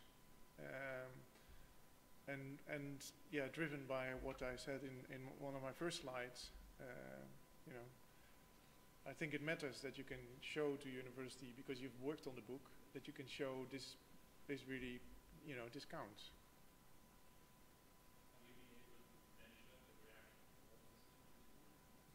Oh yes, yeah, yeah. I yeah. so there are thous literally thousands of authors who tweet about this. Uh, that they had 10,000, 100,000, whatever thousand uh, uh, downloads. Uh, I get a lot of emails, but that yeah, it's more difficult to measure. And also uh, now we have around about one million page views per month to our just to bookmetrix.com. So not even though the data is on SpringerLink, on Apress, on Palgrave, that's it. uh, a lot of people click there and, and look at the details to find out, okay, who's tweeting about me, who's downloading, no, well, not downloading, but who's citing me, uh, just to find out more about what's going on with their books. Um, and I see that people also come back. Uh, also, authors email me very nervously if the download data isn't updated for two days. And, uh, so yes, authors like it. Are there more questions?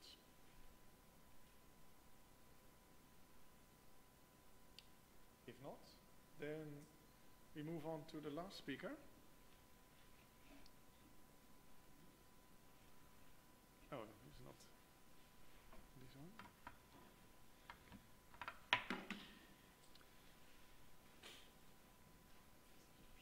Oh, yes, yep.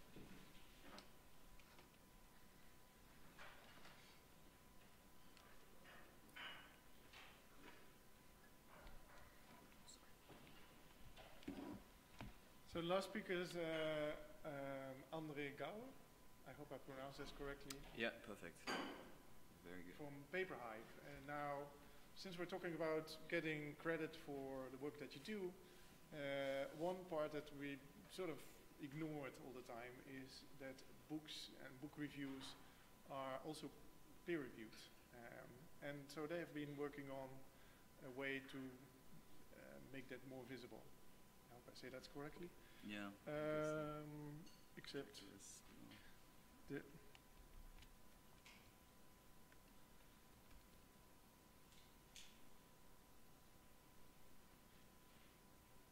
Oh, no. I think it's coming. Yep. All right. Yeah, thank you very much for the invitation. Um, so I'm briefly explaining what PaperHive is, and then I'm going to uh, talk a bit about a project we are running with uh, a language science um, publisher in Berlin. Um, so this talk is mostly about um, uh, book creation and collaboration, and what we're doing with this um, publisher in Berlin is uh, community proofreading and open peer review. And um, yeah, I want to talk a bit about how this uh, relates to book impact. So, first, what is PaperHive? Um, PaperHive is a platform for collaborative reading. Um, what does that mean? Um, basically, we think that reading should not be uh, an activity that you do alone because it's very frustrating often, especially with academic literature. Um, if you get stuck in a document, uh, for example, so I studied mathematics and I got stuck a lot of times, and um, so I wondered what other people thought about these documents. The idea is that you stop reading alone and start to read with others, with the global community. So the way PaperHive works is that you read a document online. It can be an article, it can be a book, um, and while you're reading, you directly see um, discussions that other people attached to this document, so right at the uh, specific part of the document. And um, if you have a question or want to enrich the content, you can um, just add that. I'll show a demo in a second so you get a better impression. Um, first, a bit about the technology. Actually, we're not hosting any documents on PaperHive, so we don't have all these PDFs. Um, we're just pulling the documents on demand from the publisher website, so in the user's browser. So this way, the publisher still is able to see what's going on with the content. And obviously, this also solves the, the problem of um, access management. So if the user has access, this just works. If the user doesn't have access, it doesn't work. Um, so obviously, um, all these annotations and discussions can make content very um, yeah, more attractive or um, relevant in the future. So if someone um, answered a question or corrected something, this can definitely add value to uh, the document. So I'm showing a demo in a second. No, that's the wrong one. I tried Bookmetrix. Cool, huh? um, this one.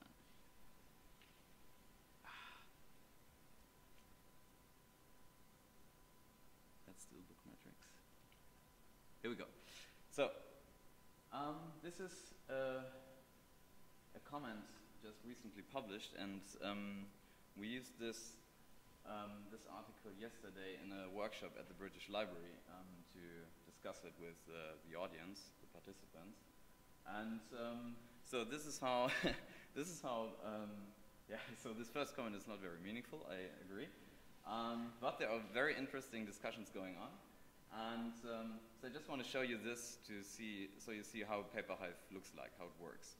Um, so you can read the article here and you directly see what other people um, attach to, to this document. So here are questions um, or um, here's a, also another discussion going on about uh, who's affected actually by um, Trump's or the, uh, Brexit politics. So this is uh, the basic interface of PaperHive. Uh, we have another uh, nice feature here which we call the, the Hive button because we're like startup hipsters. We have to call something Hive and um, that's our Hive button here.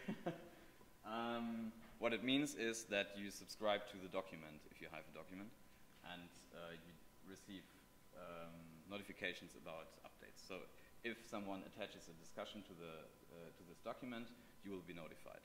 So which makes a lot of sense if you use this document, for example, in your PhD thesis, you want to know what's going on. So that's um, the basic walkthrough we have. What I've shown you so far is um, only the public discussion of um, articles and books. Um, so everything you write here is going to be public. So it, it's very simple. So if you uh, if you don't haven't heard about this uh, presidential election here, you can just uh, type something here and hit enter, and that's all. So it's very very easy to uh, get in touch with. And uh, I should mention that all of this also works. So except the commenting, um, all of this works if you're not signed in. So if I log out now, you can still see all the comments. So this is all public. And um, usually people arrive on PaperHive uh, through um, publisher websites. So there's a small uh, widget telling you that there is um, this article can be read and discussed on PaperHive, and it also shows you how many discussions are going on on this article. So you're incentivized to read online. That's the, the bottom line. So um, let me go back to. Oh wait. So I wanted to show you this button here. Uh, oh, this doesn't make sense if I'm not signed in. So we've seen um, public discussions. Um, sometimes you might want to discuss in private, like in, within a research group, and that's now possible with um, private channels. So we have here, um, I created a few channels and invited people.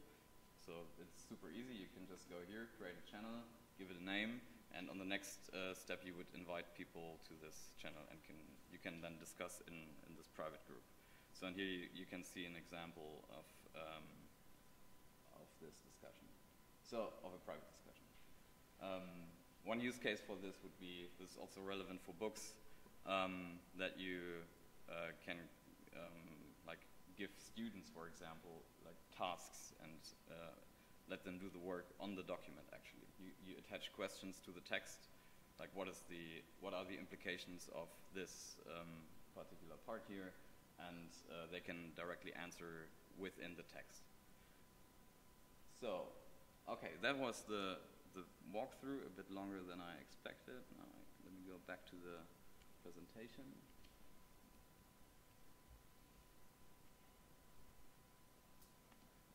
So, we go. now to the um, book project. Um, we're working together with uh, Language Science Press. Um, they're a small publisher, a small open access uh, publisher for linguistics in Berlin. And um, so their, their business model is based on grants. Now they're working together with Knowledge Unlatched. And um, they have really low costs for book creation. They basically receive their uh, manuscripts in really good shape in, in LaTeX form. And um, what they're doing then is uh, community um, peer review and community proofreading. And um, that's happening on PaperHive and in public. So first of all, open, open peer review means that, um, that all, the, all the discussions that are leading to the final decision um, are made public. Um, and it also means that anyone else can join these, um, these peer review um, phases. So basically how it works is that um, Language Science Press uh, uploads this book manuscript to the website and they put it on PaperHive. Um, and then they invite uh, referees to review this, um, this book. So sometimes only by chapter if, they, if um, the chapters are not related, but um, sometimes they just invite five people to discuss this book. And what we see is that also other people sometimes join the discussions. So these referees sometimes um, pull in other people who might be experts on this field. And um, so they, they also share their opinion about that. Um, show you how this looks like. This is a really intense work that they're doing. Um, so this work is usually not visible in the, in the entire book uh, creation cycle. So if you if you read a book, you usually only see the final version and you don't know how how the process before was, um, how how um, was decided that this is actually a good book, or um, how did like errors um, or how, how were errors or mistakes be uh, corrected. So this is um, the uh, recent book, um, Diversity in African Languages, and you see it has 595 discussions on it. Um, so they're really using this uh, PaperHive platform intensely. They uh, basically attach any typo or whatever um, a small discussion.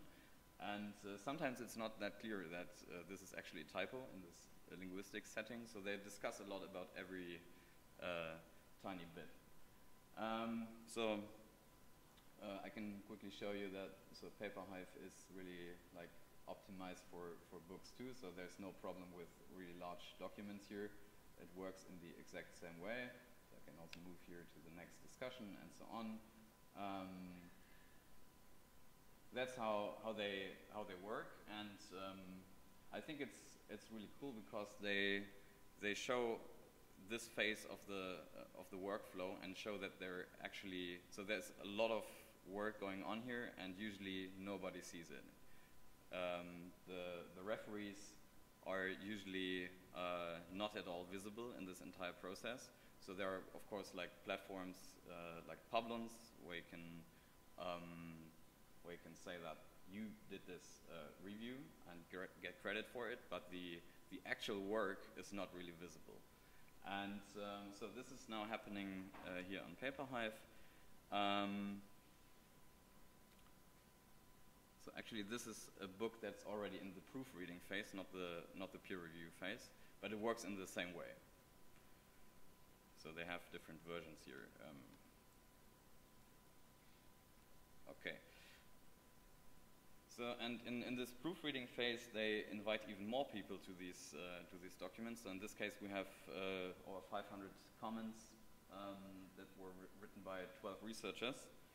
And um, yeah, what are the benefits of this uh, peer review, uh, community peer review? Um, it definitely leads to uh, high quality um, of, of the manu manuscripts because a lot of people are looking at it and it's very easy to spot mistakes. So if you find a mistake, you just highlight it, uh, click submit, and then it's, it's done.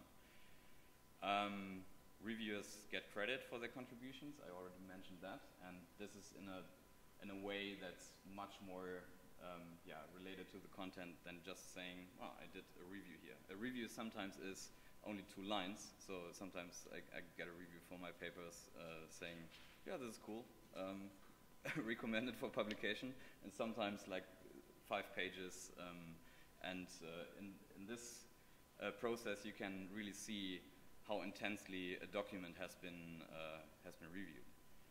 So that's the the next part: uh, transparency. You you there are no secrets in the in the peer review phase, and I know that there are a lot of secrets and uh, dirty stuff going on in the peer review phase and publishers um, or with editors. Um, and uh, yeah, you can basically uh, pull in the audience, the, the readers, um, before the book has been published. So if people are interested in the content, they can even uh, participate in this process. And uh, so you get a lot more attention for these books.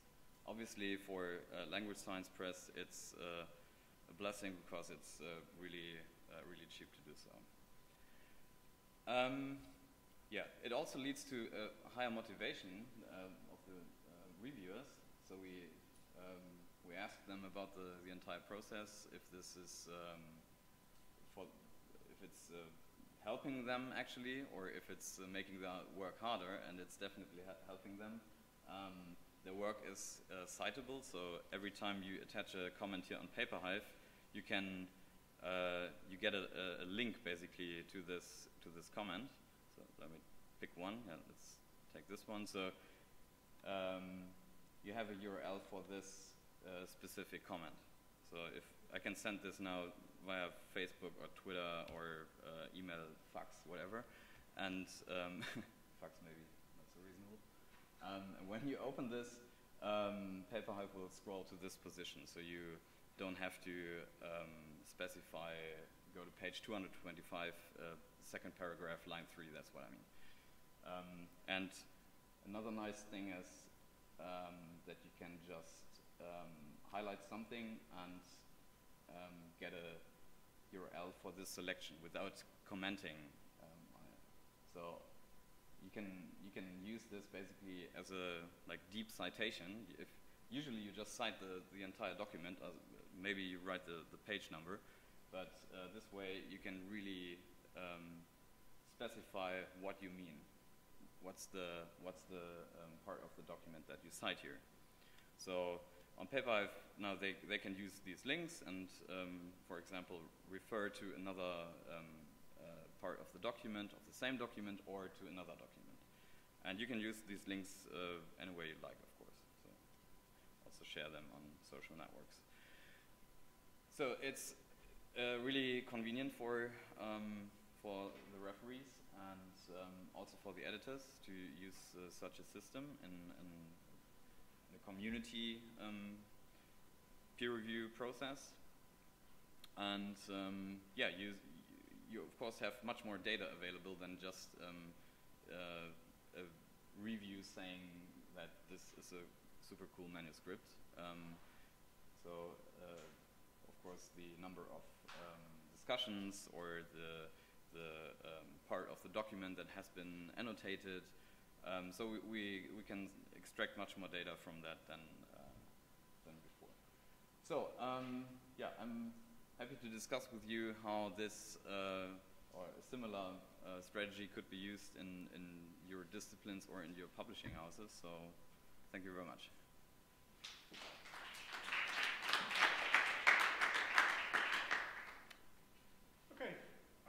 Questions for uh, uh, yeah, I mean, you, you say reviewers get credit, and mm -hmm. I mean, see them uh, uh, on the slide, but um, is there going to be some, or is, is there some kind of Wikipedia-style profile of the individual people where you can then see yes. all the edits and discussions? Yeah, there is a um, an activity feed for every user, so you oh, see okay. the, the recent activity of that user. So this is very basic currently, but we have so much data that we can visualize um, over time and so on. So this. Because I think that's something that yeah. Sort of Wikipedia and other community things sort of. Uh, yeah, absolutely. Even now, some journals are starting to will start publishing. I think this year sort of the the top uh, the, the quickest top 30 reviewers that they have that year for journal articles, to, just to, to increase motivation Yeah, actually, so there was already um, Stack Exchange mentioned earlier today, and um, that's something we're going to incorporate here, like a voting system. So currently, you can write whatever you want here, and if it's very meaningful or not, it, you cannot uh, see it or indicate how helpful it was. So um, we're thinking about integrating uh, up and downvoting system for these comments, uh, just for hiding maybe comment uh, comments that are not very helpful or that have discussion that is not meaningful, and um, on the other hand, also giving credit to um, contributors who are, are really helpful on the platform. Maybe follow up. What do you currently do with comments that full are not only not helpful, but anything racist? So racist, I deleted. Yeah, so yeah, but, uh, I mean, I have to. You need to have some kind of solution. Yeah, so um, so we're based in Berlin, and we have to remove certain comments. So currently, people really behave on the platform. It's really nice to see. Um, but under German law, we have to remove certain uh, comments, uh, and I'm actually also happy to do so if it's uh, racist or threatening and so on. Um, on the other hand, if it's just um, maybe not not a nice discussion, it's uh, it's no threatening, but like uh, yeah, someone's being a bit rude. Um, then it's not up to us to decide if this is a valuable scientific or research comment. Um, so um, that's what the, this community um, uh, moderation part is about. That if you if one contribution has been downvoted too often, we will just hide it, but we will not remove it. So you can still see it if you want, but um, by default it will be hidden if it's downvoted. Along the same lines, I think it's an interesting idea that you can pinpoint what you want to cite. Mm-hmm.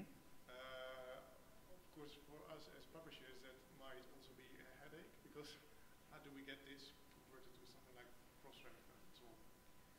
You mean these uh, So if I would, speci- you these know, as deep links? author, I put this in my reference list, Yes. Mm-hmm. then I think most systems will go tilt. um, yes. So Are you talking to, for example, Crossref to see whether you could convert it to something? yes, actually we we do. Um, so Crossref is working on a uh, on a system where all this, this kind of activity can be uh, can be shared. Um, but this kind of deep link um, is currently only available on, on PaperHive, I think, and um, so there's no metadata um, standard on Crossref that we could use. But You can define a met- metadata standard. Exactly, that's what we're doing right now. So we're working, so we're not uh, creating our own standard because then it's not a standard, then it's just the PaperHive thing. Um, we're working together with uh, W3C um, to um, work out a, um, a standard for annotations. So actually this was just released six days ago, a new draft for this, um, for the standard. This takes forever in W3C, but um, so there is a, uh, a group working on that, and we're uh, helping them. And I think we're always the first to uh, use the new version of this data model. So this is something uh, that can be used on other platforms too, and can be understood by other yeah, programs or uh, Yeah. humans. Who's on that in the back?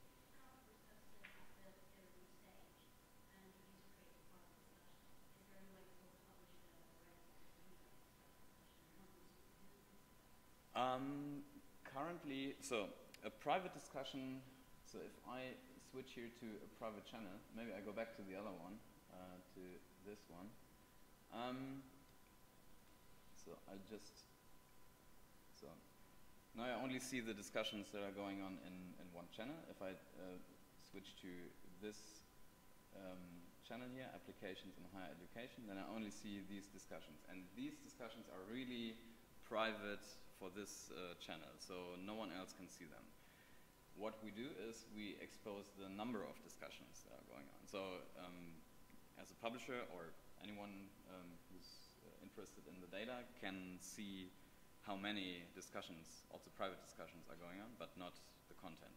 So, sorry?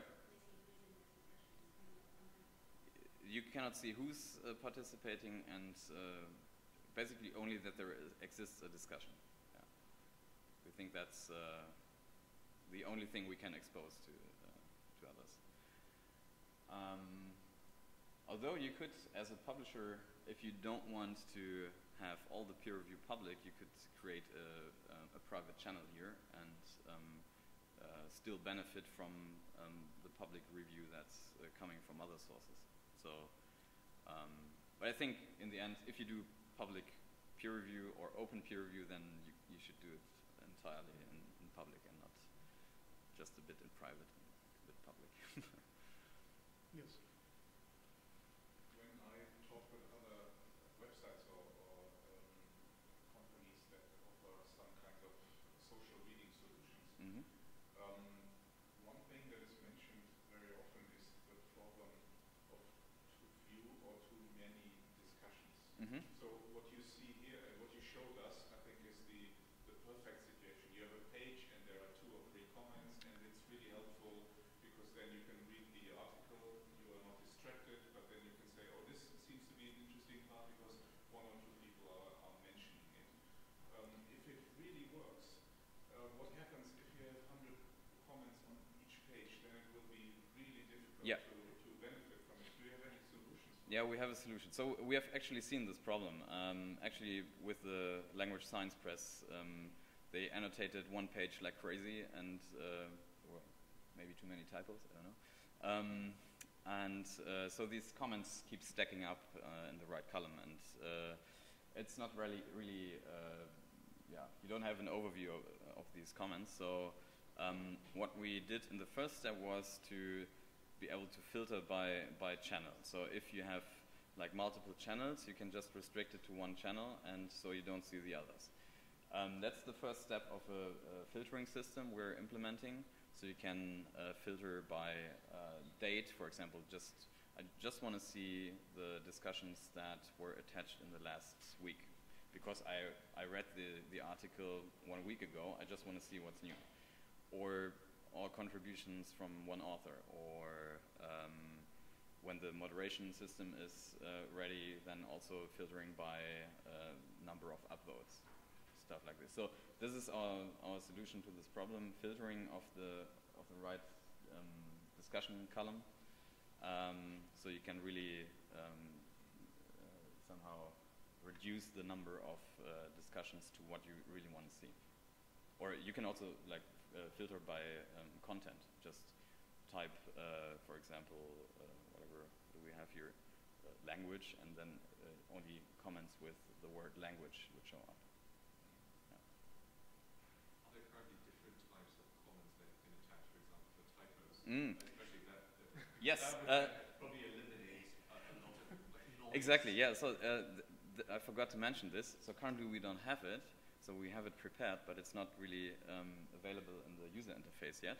So that's actually what Language Science Press wanted to have, uh, like kind of tagging of uh, of comments. So they define a set of, of tags, like typo or uh, whatever uh, in mathematics or proof or stuff like this, and um, you can tag your comments.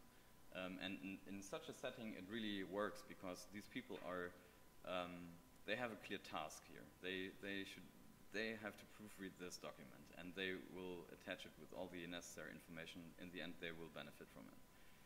So, uh, yes and no. Okay, thanks a lot. Thank you. Then uh, I think we're uh, towards the end. I hope it was useful. I don't know whether anybody wants to voice any opinions of what you've learned or uh, sort of recap. Anyone? Or just done and let's start drinking. That's also totally fine. Then uh, thanks for showing up and uh, till next year. Thank you.